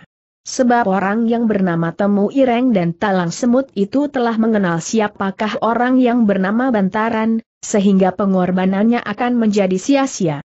Sebab akhirnya mereka masih akan mencari orang yang dikehendakinya. Karena itu Bantaran ingin meloncat maju untuk mencegah pengorbanan yang dianggapnya akan sia-sia saja. Tetapi ketika ia sudah bersiap untuk meloncat dan berteriak, tiba-tiba seseorang menggamitnya. Ketika ia menoleh, ia terperanjat bukan kepalang, sampai ia tergeser dari tempatnya. Demikian terperanjatnya bantaran, sampai beberapa saat ia tak dapat berkata-kata. Baru setelah debar jantungnya berkurang, terdengarlah ia berdesis, Tuan. Bukankah Tuan? SSST, jangan kau sebut nama itu, potong orang yang menggamitnya. Bantaran mengangguk-angguk cepat. Namun ia masih agak bingung menanggapi kehadiran orang yang sama sekali tak disangka-sangka itu. Tuan, sambungnya sambil tergagap, kenapa Tuan tiba-tiba saja berada di tempat ini? Orang itu, yang tak lain adalah Mahesa Jenar, tersenyum lebar. Bantaran, ketika sepuluh orang berkuda itu datang, kau agaknya tetap tenang. Tetapi ketika kau lihat aku, kau menjadi kebingungan. Bantaran mencoba memperbaiki jalan nafasnya sambil menjawab, sebab bagiku kehadiran Chuan lebih berkesan di hati, daripada monyet-monyet dari pamingit itu. Sekali lagi Mahesa Jenar tertawa kecil. Kemudian katanya memperingatkan bantaran pada keadaannya kini, apalagi orang-orang pamingit itu akan menangkap kau. Bantaran tersadar akan bahaya yang mengancam. Tetapi bersamaan dengan itu kembali ia teringat kepada orang aneh yang mengaku dirinya bantaran itu. Karena di sampingnya sekarang ada Mahasa Jenar maka disampaikannya keheranannya itu kepadanya.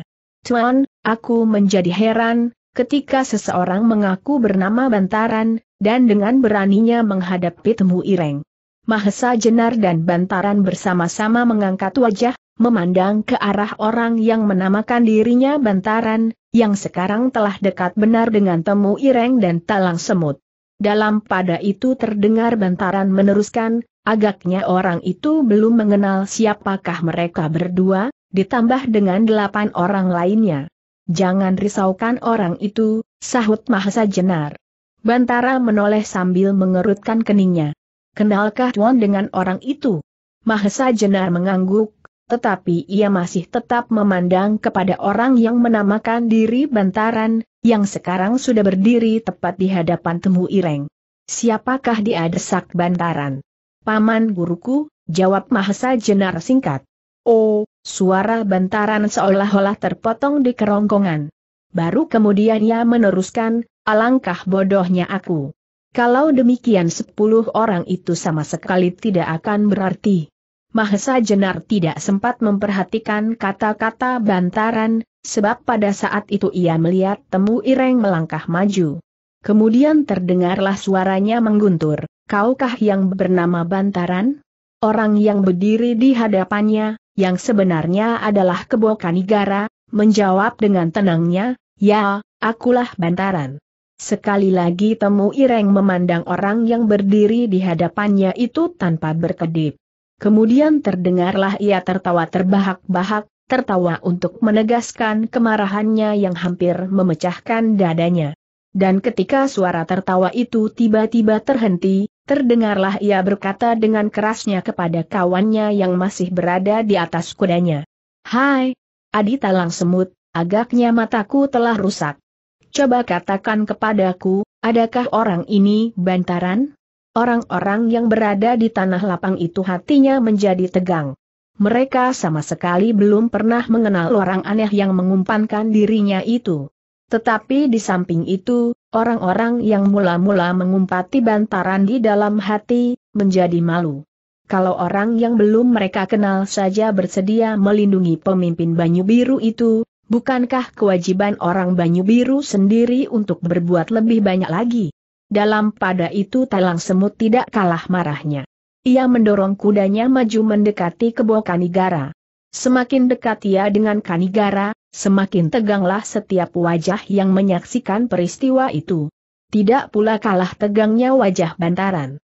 Bahkan sampai ia menggigit bibirnya sendiri. Talang semut ternyata tidak menjawab pertanyaan temu Ireng dengan kata-kata. Sedemikian marahnya ia, karena ia merasa dipermainkan oleh orang yang belum dikenalnya, yang disangkanya juga orang Banyu Biru yang ingin melindungi pemimpinnya, sehingga Talang Semut merasa tidak perlu bertanya-tanya lagi. Maka ketika kudanya telah dekat benar dengan tubuh kebo Kanigara, diangkatnya cambuknya tinggi-tinggi sambil menggeram keras. Cambuk itu sekali menggeletar di udara, dan seterusnya dengan derasnya menyambar tengkuk kebo Kanigara. Hampir semua orang yang menyaksikan peristiwa itu seakan-akan berhenti bernafas. Talang semut bagi orang Banyu Biru tak ubahnya seperti hantu peminum darah. Sekali ia turun tangan, maka hampir dapat dipastikan bahwa korbannya tak akan dapat lagi melihat matahari terbit. Demikianlah mereka menyangka bahwa orang yang mengaku bernama Bantaran itu akan menjadi korban kemarahan talang semut. Tetapi sekejap kemudian, dada mereka terguncang menyaksikan akibat perbuatan talang semut. Bahkan beberapa orang menjadi tak begitu percaya kepada mati mereka. Sebab apa yang mereka saksikan sama sekali di luar dugaan mereka.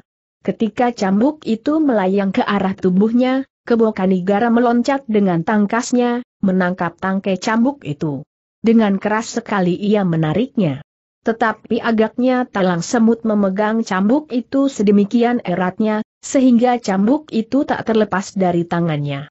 Tetapi ternyata kekuatan talang semut bukanlah tandingan kebo kanigara, sehingga ketika kanigara menariknya lebih keras lagi, tubuh talang semutlah yang ikut terseret dari kudanya. Karena talang semut tidak menduga, maka untuk sesaat ia kehilangan akal. Ketika ia sadar, tangan kebo kanigara telah memegang bagian depan bajunya sedemikian erat, dan sebuah pukulan melayang tepat ke arah pelipisnya. Semuanya itu berlangsung sedemikian cepatnya sehingga talang semut tidak mempunyai kesempatan sama sekali untuk membela diri. Yang terjadi kemudian adalah pelipisnya seolah-olah membentur dinding baja.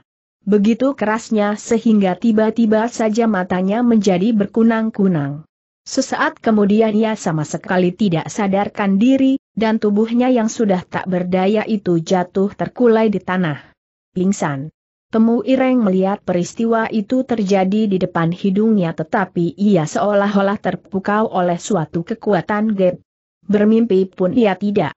Bahwa ada orang yang dapat sedemikian mudahnya mengalahkan talang semut.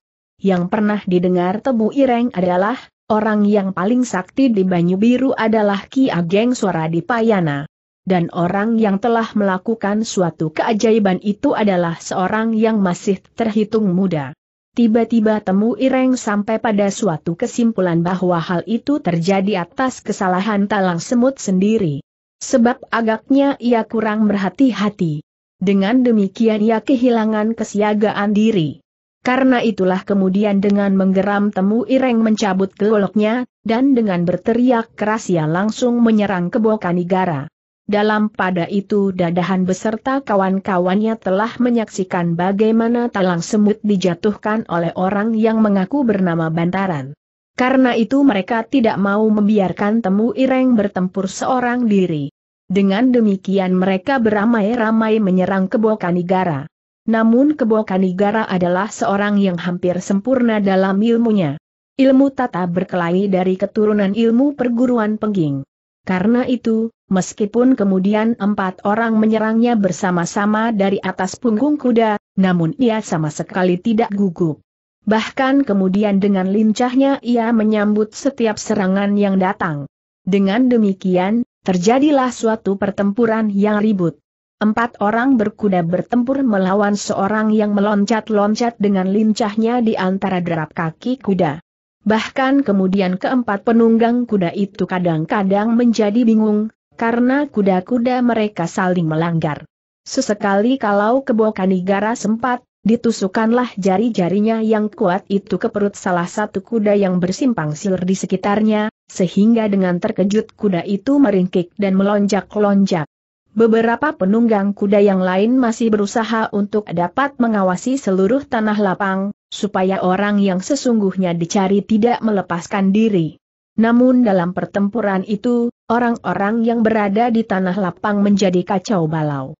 Mereka berlarian ke sana kemari tak tentu tujuan, menghindarkan diri dari kemungkinan terinjak oleh kaki-kaki kuda yang seolah-olah menjadi liar. Dalam keadaan yang demikian itulah Mahesa Jenar berbisik kepada Bantaran, Bantaran, masih adakah keluarga penjawi yang lain yang perlu diselamatkan dari kemarahan orang pamingit kelak, atau barangkali keluargamu sendiri? Keluargaku, tidak tuan. Mereka semua telah mengungsikan diri. Sedang keluarga penjawi pun sudah tidak ada, kecuali seorang kakek, ayahnya penjawi itu, sahut Bantaran. Nah, kalau demikian, pergilah kepada kakek itu, sambung Mahesa Jenar, supaya ia tidak memikul tanggung jawab atas peristiwa ini.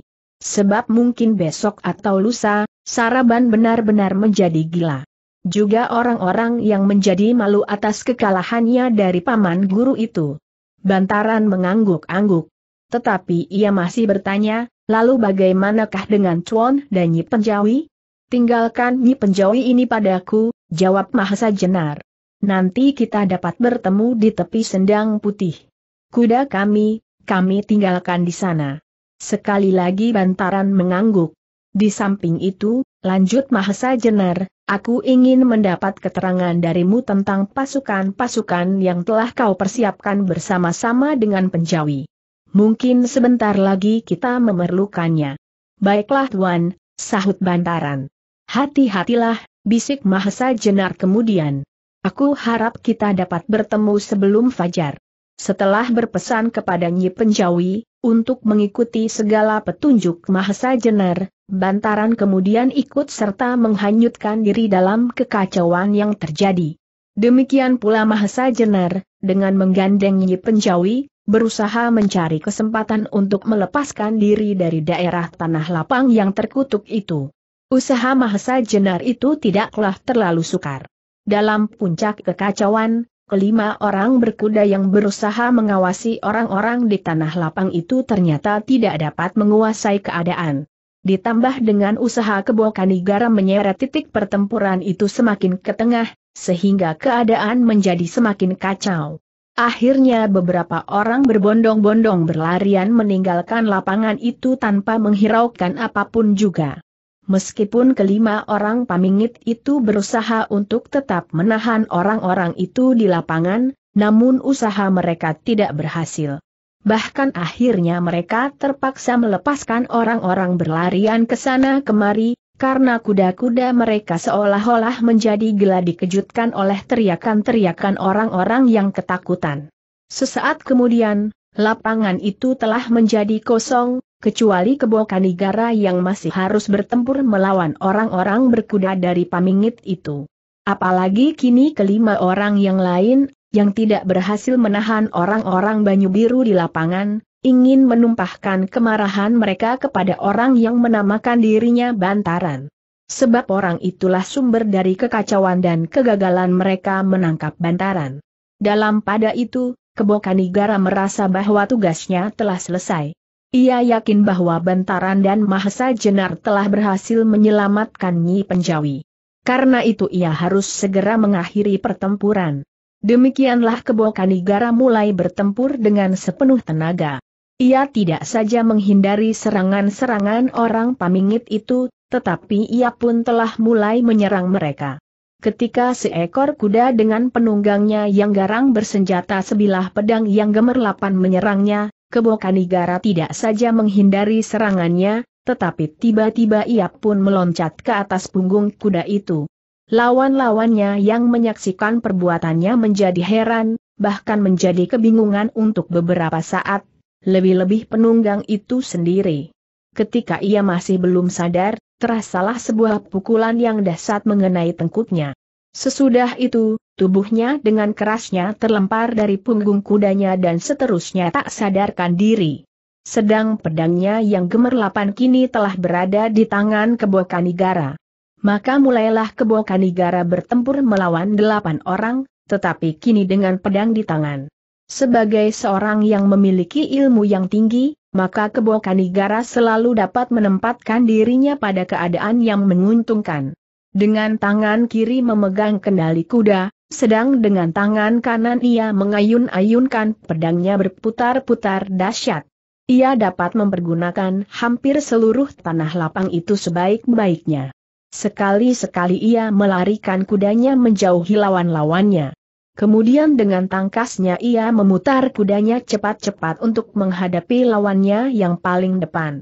Dengan demikian ia dapat memancing pertempuran melawan orang-orang pamingit itu hampir satu persatu. Dan satu persatu pula mereka dapat dirobohkan. Pedang di tangannya itu seolah-olah merupakan patuk seekor burung Garuda yang bertempur melawan delapan ekor serigala. Sekali-sekali Garuda itu terbang tinggi, kemudian menukik cepat, dan dengan paruhnya yang runcing tajam, dibinasakannya serigala itu satu persatu. Demikianlah akhirnya pedang Kanigara itu telah berhasil melukai orang kelima di pundak kanannya. Demikian hebat luka itu, sehingga akhirnya seperti keempat orang yang lain, orang itu jatuh tersungkur di tanah, dengan tubuh lemas tak berdaya. Kini tinggallah tiga orang lagi. Tentu saja ketiga orang itu mengerti bahwa lawannya bukanlah manusia setingkat mereka. Kalau semula mereka, delapan orang, tidak mampu mengalahkannya, apalagi kini tinggal tiga orang lagi.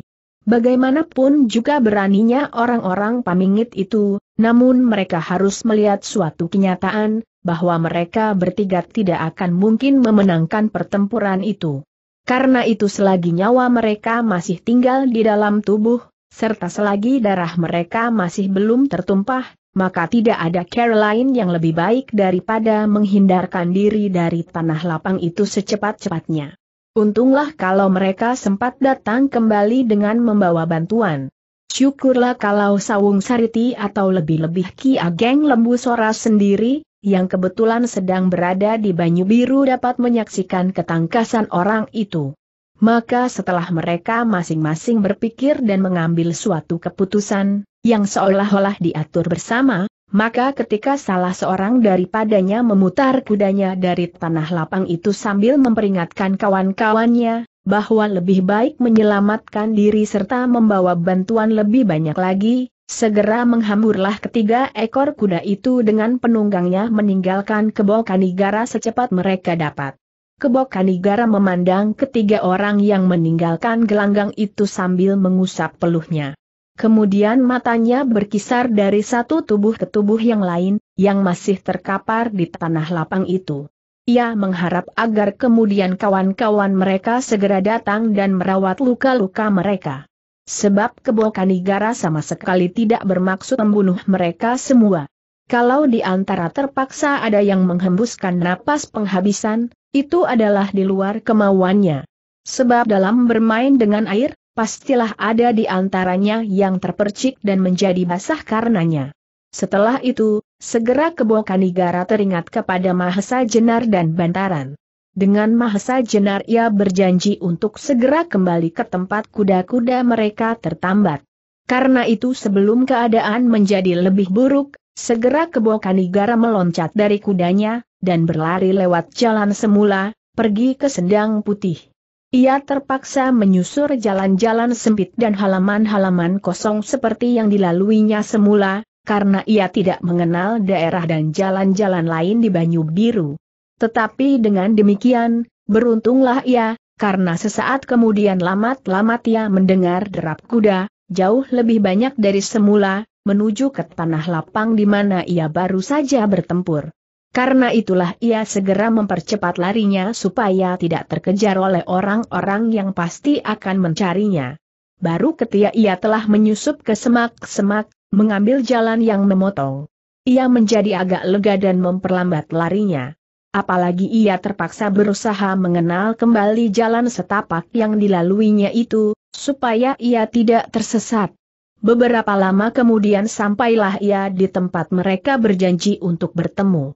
Di situ telah menanti Mahesa Jenar, Bantaran, Nyi Penjawi dan seorang kakek tua ayah Nyi Penjawi.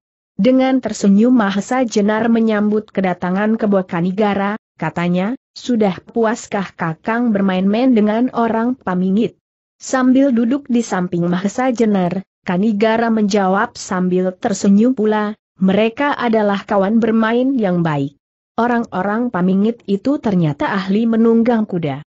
Dengan tersenyum pula Mahesa Jenar menjawab, sayang mereka tidak dapat bermain-main dengan senjata sebaik mereka naik kuda. Kemudian dengan lesu Kanigara berkata seperti kepada diri sendiri, aku terpaksa melukai beberapa orang di antaranya. Sebab aku tidak dapat bermain-main dengan senjata sebaik di antara mereka yang terbunuh. Mahesa Jenar sama sekali tidak menyaut. Ia tahu betul perasaan Kebo Kanigara, bahwa bukanlah pada tempatnya, dalam keadaan yang demikian, di mana ia tidak mempunyai persoalan langsung dengan orang-orang pamingit itu, tangannya terpaksa menumpahkan darah. Tetapi dalam keadaan yang demikian, tak seorang pun yang akan dapat menyalahkannya. Apalagi bantaran. Sebagai seorang pemimpin Laskar Banyu Biru, ia menjadi keheran-heranan, bahwa dalam pertempuran yang berlangsung itu, di mana seorang harus melawan sepuluh orang bersama-sama, masih juga menyesal kalau ia terpaksa membunuh lawannya. Sesaat kemudian keadaan menjadi sunyi.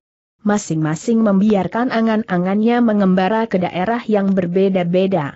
Kemudian terdengarlah kembali Mahesa Jenar berkata kepada Bantaran, Bantaran, aku masih ingin mendapat beberapa keterangan tentang laskarmu dan laskar penjawi. Sebab mau tidak mau, apabila Ki Ageng Lembu Sora dan Sawung Sariti tetap pada pendiriannya, kita akan memerlukannya. Bantaran menggeser duduknya, kemudian menjawabnya, Laskar kami sebenarnya tidaklah begitu banyak, Tuan. Apalagi sampai saat ini kami sama sekali tidak mendapat bimbingan yang baik. Apakah artinya kami berdua? Aku dan penjawi. Sedang yang kami hadapi adalah Ki Ageng Lembu Sora dan putranya, Sawung Sariti. Sedangkan tingkat keterampilan kami tidaklah lebih daripada pengawal-pengawal Lembu Sora itu. Tetapi bagaimanakah dengan tekad mereka selama sejenar? Itulah yang mendorong kami untuk tetap berjuang. Mereka ternyata bersedia menunggu pemimpin mereka. Ki Ageng Gajah Sora atau putranya, Arya Salaka yang hilang itu. Bagaimanakah dengan Wana Merta Mahesa Jenar mencoba bertanya. Orang tua itu pun telah meninggalkan Banyu Biru, jawab Bantaran. Tetapi kami belum mengetahuinya, di mana ia berada. Mahesa Jenar mengangguk-anggukan kepalanya. Kemudian ia berkata, Bantaran, agaknya Wana Merta benar-benar belum berhasil mencari hubungan dengan kalian. Ketahuilah bahwa Wana Merta telah berhasil menyusul putra Ki Ageng Gajah Sora. Arya Salaka potong bantaran terkejut. Ya, jawab Mahesa Jenar, dan selama ini Arya Salaka dalam keadaan selamat. Syukurlah, sahut bantaran. Memang demikianlah berita yang pernah aku dengar, meskipun aku belum meyakini sebelumnya. Sekarang karena Tuan yang mengatakannya, maka aku dapat mempercayainya. Dari mana kau dengar berita itu tanya Mahesa Jenar. Aku tidak jelas sumbernya, jawab bantaran.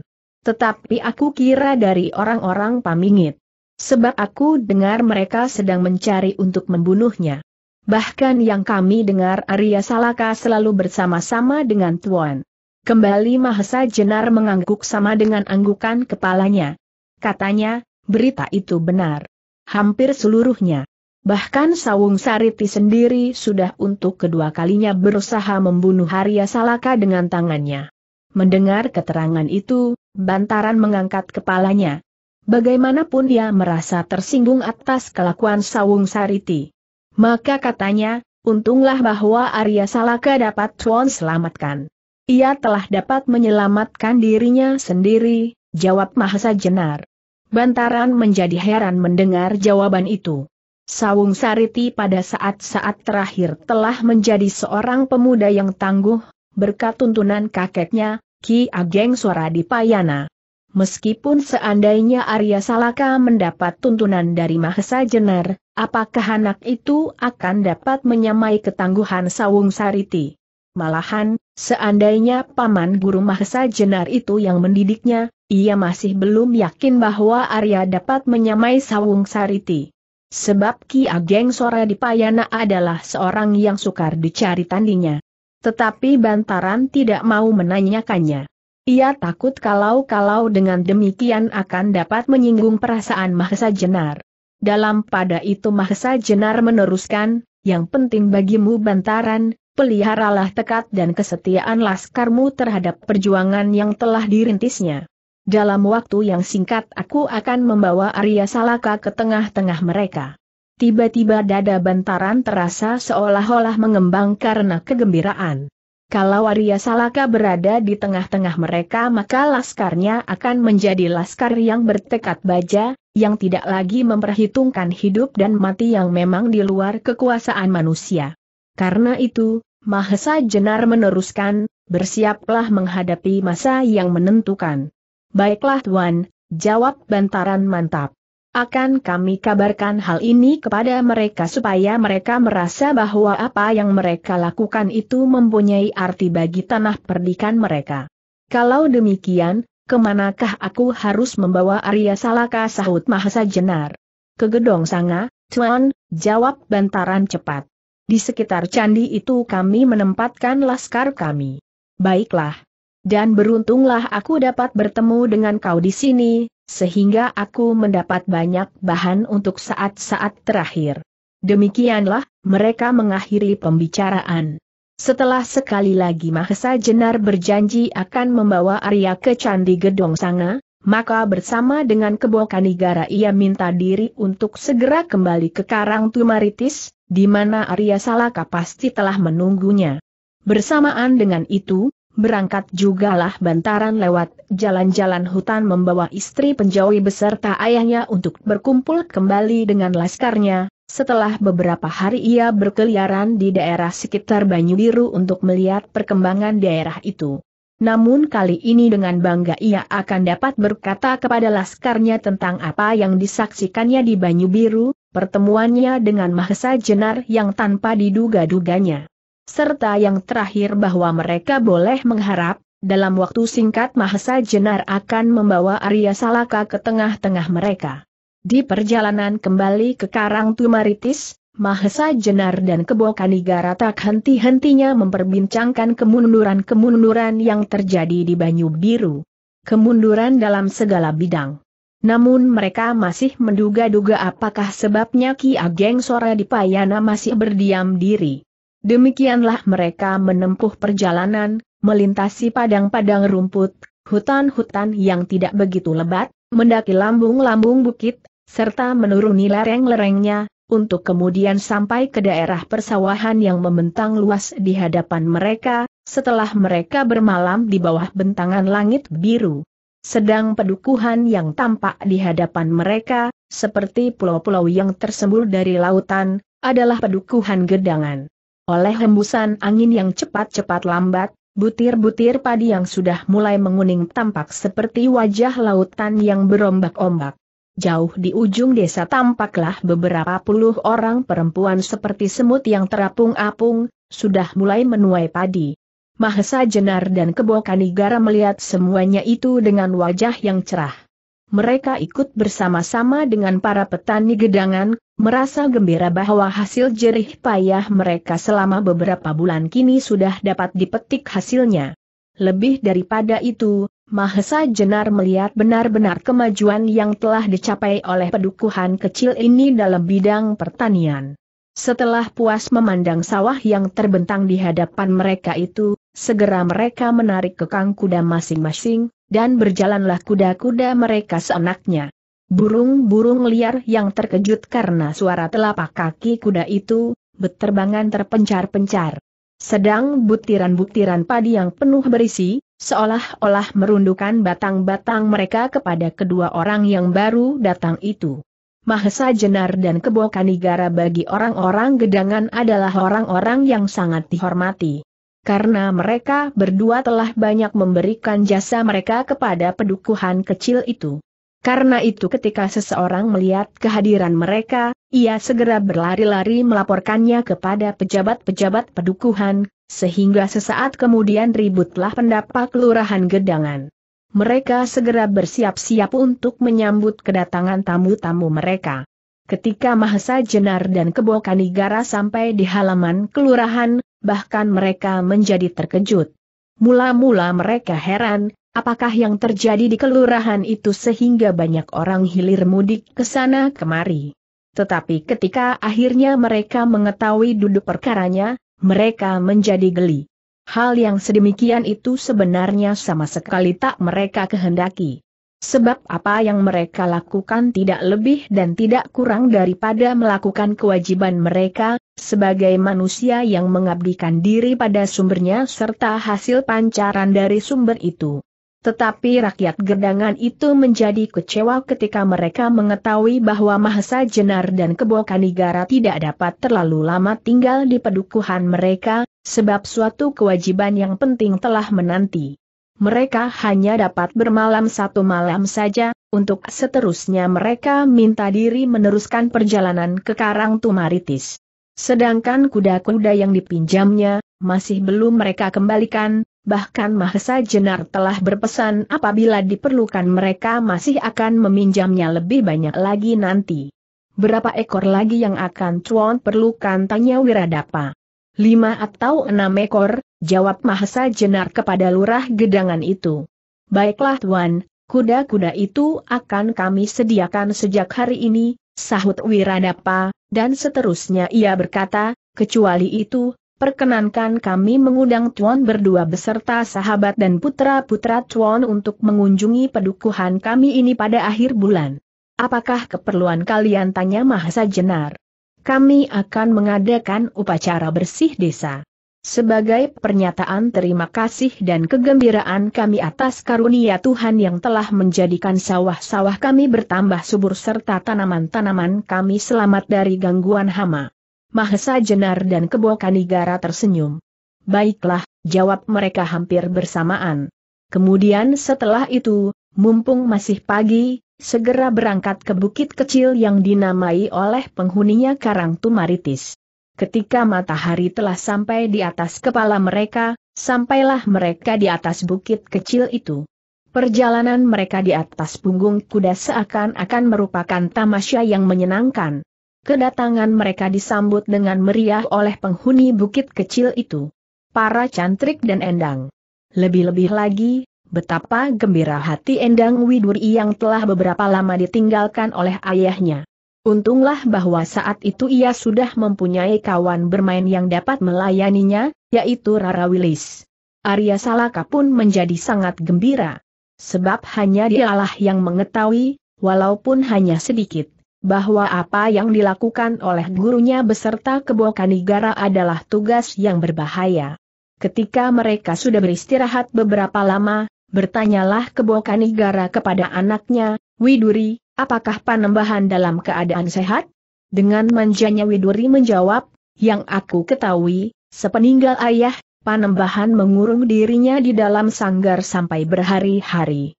Tak seorang pun yang diperkenankan ikut serta.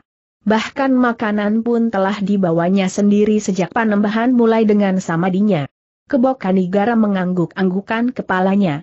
Tetapi taulah ia, dan juga Mahasa Jenar tahu bahwa sebenarnya Panembahan Ismaya pada saat itu sedang pergi meninggalkan padepokan untuk menyusulnya ke Pudak Pungkuran, di mana ia bersama-sama dengan Mahesa Jenar sedang menemui Radite dan Anggara. Apakah beliau sekarang masih berada di dalam sanggar tanya Kanigara kemudian? Widuri menggeleng. Jawabnya, sudah hampir seminggu Panembahan wudar dari samadinya. Sambil memandang kepada Mahesa Jenar, Kebokanigara berkata, kalau demikian, baiklah kita menghadap. Mahesa Jenar menyetujuinya pula. Dan ketika mereka sudah melangkah sampai luar pintu pondok, menyusulah Arya Salaka sambil berbisik, Paman, Panembahan agak menyesal ketika aku katakan tentang kepergian Paman berdua. Kanigara dan Mahesa Jenar terhenti. Tetapi kemudian mereka berdua tersenyum. Jawab Kanigara, kami akan mencoba menjelaskan kepada Panembahan. Mudah-mudahan Panembahan dapat mengerti, sahut Tarya Salaka. Aku kira demikian, sahut Mahasa Jenar. Nanti sesudah kami menghadap, aku beritahukan kepadamu. Arya Salaka mengangguk, tetapi hatinya masih juga gelisah. Jangan-jangan Panembahan masih tetap kecewa terhadap gurunya serta Kebokanigara tetapi ia sudah tidak berani bertanya lagi. Ketika Kebokanigara dan Mahesa Jenar sampai di rumah kediaman Panembahan Ismaya, Panembahan tua itu ternyata sedang duduk di hadap beberapa orang cantrik tertua. Agaknya ada sesuatu yang sedang mereka perbincangkan. Ketika dilihatnya kedatangan Kabokanigara dan Mahesa Jenar, maka dengan perasaan gembira mereka berdua disambutnya serta segera dipersilakan masuk. Marilah Angger berdua, beberapa hari aku menjadi gelisah atas kepergianmu berdua. Syukurlah kalau kau berdua tidak menemui halangan sesuatu. Kebokanigara dan Mahesa Jenar mengangguk hormat, sebagai pernyataan bakti mereka kepada panembahan tua itu. Agaknya kalian berdua menjadi gembira karena perjalanan itu? Ternyata wajah kalian bertambah segar, sambung panembahan Ismaya. Kebokanigara dan Mahesa Jenar tidak menjawab. Mereka hanya menundukkan muka mereka. Sebab tak ada yang akan mereka katakan, karena panembahan Ismaya telah mengetahui seluruhnya. Tetapi tiba-tiba panembahan Ismaya berkata kepada para cantrik, cantrik-cantrik sekalian, aku perkenankan kalian meninggalkan ruangan ini. Sediakanlah makan siangku. Aku ingin setelah ini makan bersama-sama dengan Kanigara dan Mahesa Jenar. Maka mundurlah para cantrik dari ruangan itu, untuk mempersiapkan makan siang Panembahan Ismaya. Sepeninggal para cantrik, barulah Panembahan bertanya segala sesuatu mengenai perjalanan kembali Mahesa Jenar dan Kebo Kanigara dan kepada panembahan itu diceritakan pula bagaimana keadaan Banyu Biru sekarang. Kemunduran dalam segala bidang, terutama kemunduran akhlak. Panembahan, kata Mahesa Jenar kemudian, menurut pertimbanganku, segala sesuatu yang terjadi di Banyu Biru itu harus segera dihentikan, dengan mengembalikan Arya Salaka ke sana. Atau lebih-lebih kalau mungkin Kakang Gajah Sora. Panembahan Ismaya mengangguk-anggukan kepalanya. Ia merasa ditagih janji, sebab merasa berkesanggupan untuk membebaskan Gajah Sora. Tetapi untuk melaksanakan kesanggupan itu agaknya tidak terlalu mudah. Karena itu ia menjawab, kau benar Mahasa Jenar. Bawalah Arya Salaka lebih dahulu. Aku masih belum dapat membebaskan ayahnya. Aku harap hal itu segera terjadi. Dan bukankah akan sangat menggembirakan kalau Gajah Sora nanti dapat kembali ke Banyu Biru setelah Banyu Biru dapat dipulihkan? Dan apa yang terjadi sebelum itu, seolah-olah hanya suatu peristiwa dalam mimpi, meskipun mimpi yang menyedihkan. Mahesa Jenar masih merenungkan masalah-masalah yang akan dihadapinya. Kalau saja tidak ada persoalan yang lebih besar, yang akan langsung mempengaruhi pemerintahan Demak, maka cara yang semudah-mudahnya untuk membebaskan Ki Ageng Gajah Sora adalah menyerahkan kembali Kiai Naga Sastra dan Kiai Sabuk Inten. Tetapi ternyata cara itu tidak dapat ditempuhnya. Sebab Banyu Biru bagi Demak hanyalah merupakan sebagian saja dari seluruh persoalan. Namun ia percaya kepada Panembahan Ismaya.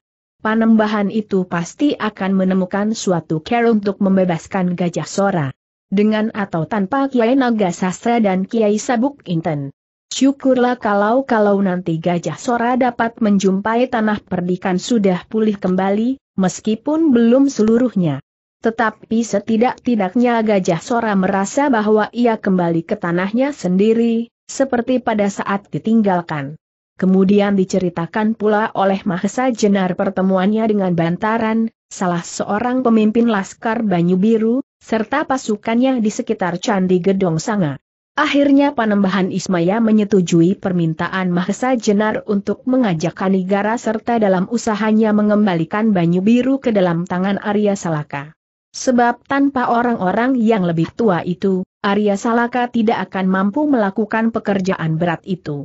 Tetapi kau jangan terlalu tergesa-gesa, Mahesa Jenar, Panembahan Ismaya menasihati, sebab apa yang akan dilakukan oleh Arya Salaka adalah pekerjaan yang sulit. Mula-mula kau harus berusaha untuk menjelaskan masalahnya tanpa pertumpahan darah. kau dapat membawa laskar yang dipimpin bantaran hanya untuk membuat keadaan seimbang, supaya keseimbangan itu diperhitungkan pula oleh lembu sora. Sebab apabila ia hanya berhadapan dengan kalian berdua beserta Arya Salaka, maka mereka pasti akan berkeras kepala.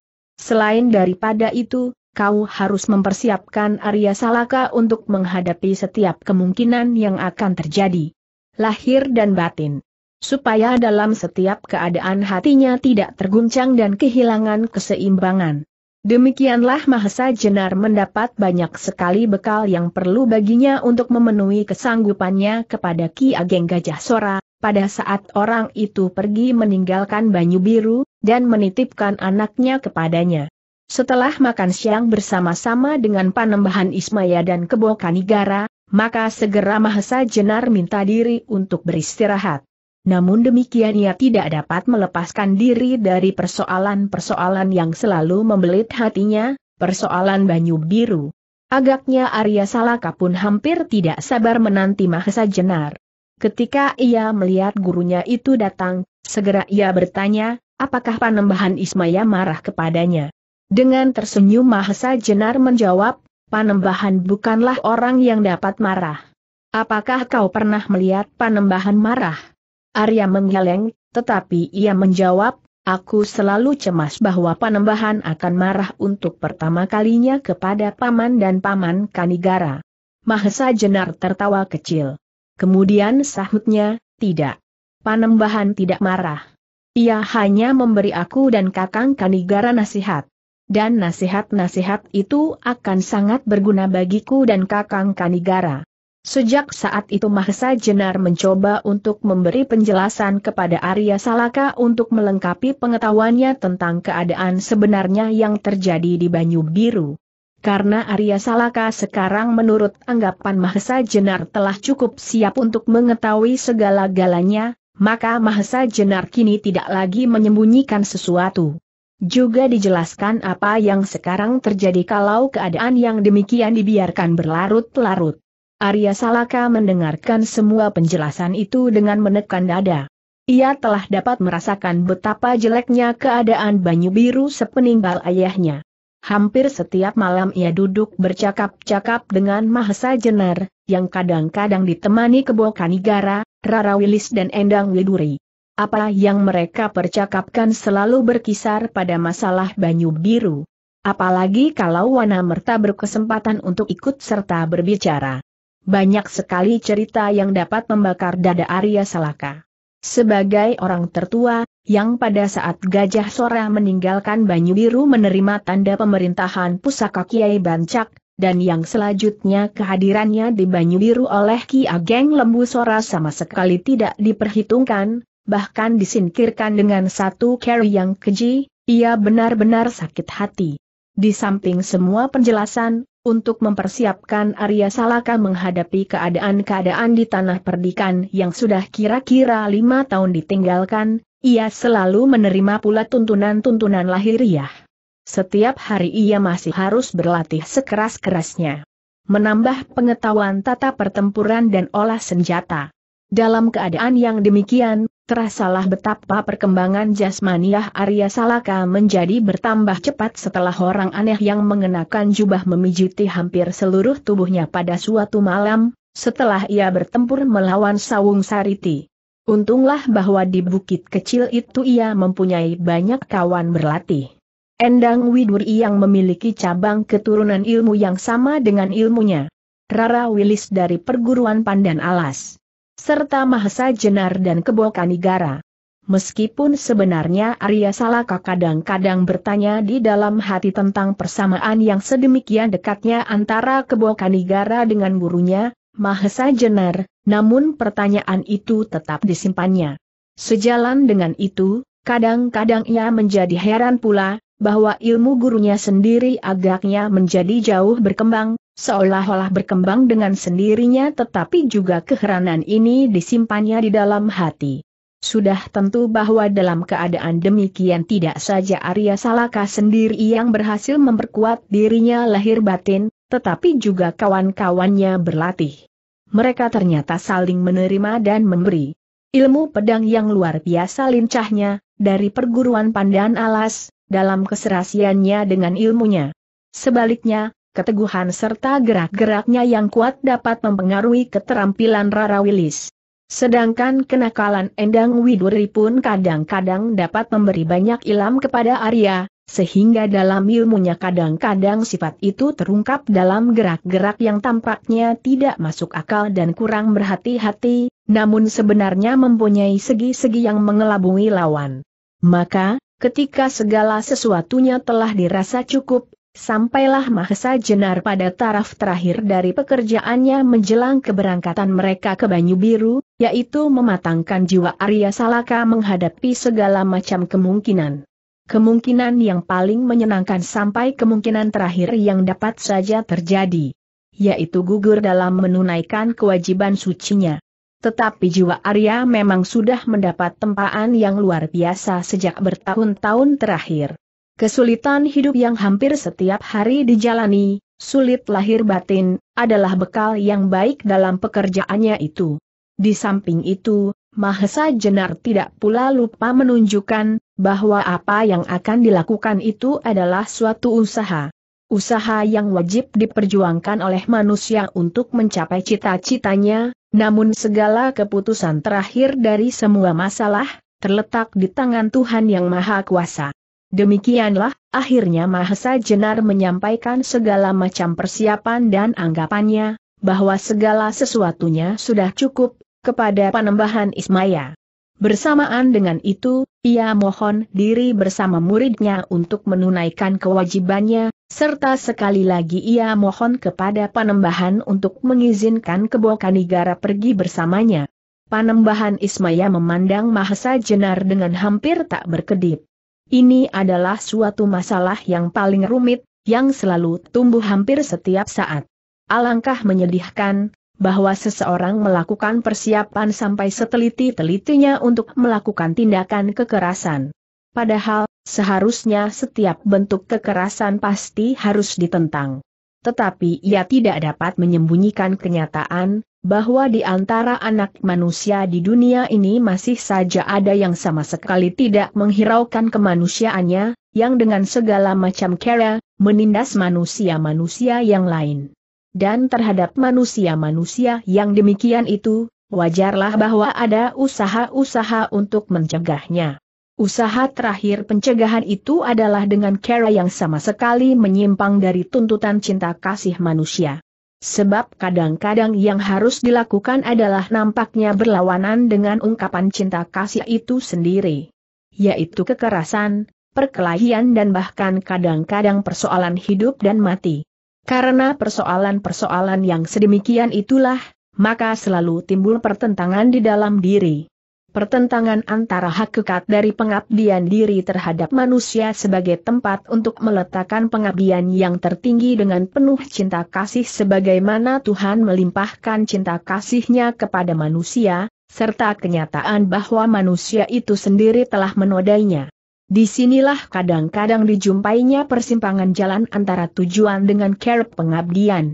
Namun demikian bukanlah segala care dapat dibenarkan untuk mencapai tujuan. Sebab dalam hal yang demikian kaburlah batas antara tujuan yang hendak dicapai dengan mengorbankan tujuan itu sendiri, sebagai puncak pengabdian. Dalam hal yang demikian itu, apabila segala macam care dapat dibenarkan, maka akan timbullah fitnah, kebiadaban, kekejaman dan kesewenang-wenangan, yang justru menghilangkan nilai tertinggi dan tujuannya, yaitu manusia. Terhadap Mahasa Jenar dan Kebo Kanigara, Panembahan Ismaya tidak tereng aling-aling. Dan karena itulah maka Panembahan Ismaya sendiri masih mempergunakan dua bentuk selama ini. Orang berjubah abu-abu yang sakti dan seorang panembahan yang menjauhkan diri dari daerah keduniawian. Mendengar uraian itu Kebo Kanigara dan Mahesa Jenar hanya dapat menundukkan wajah mereka dengan takzimnya.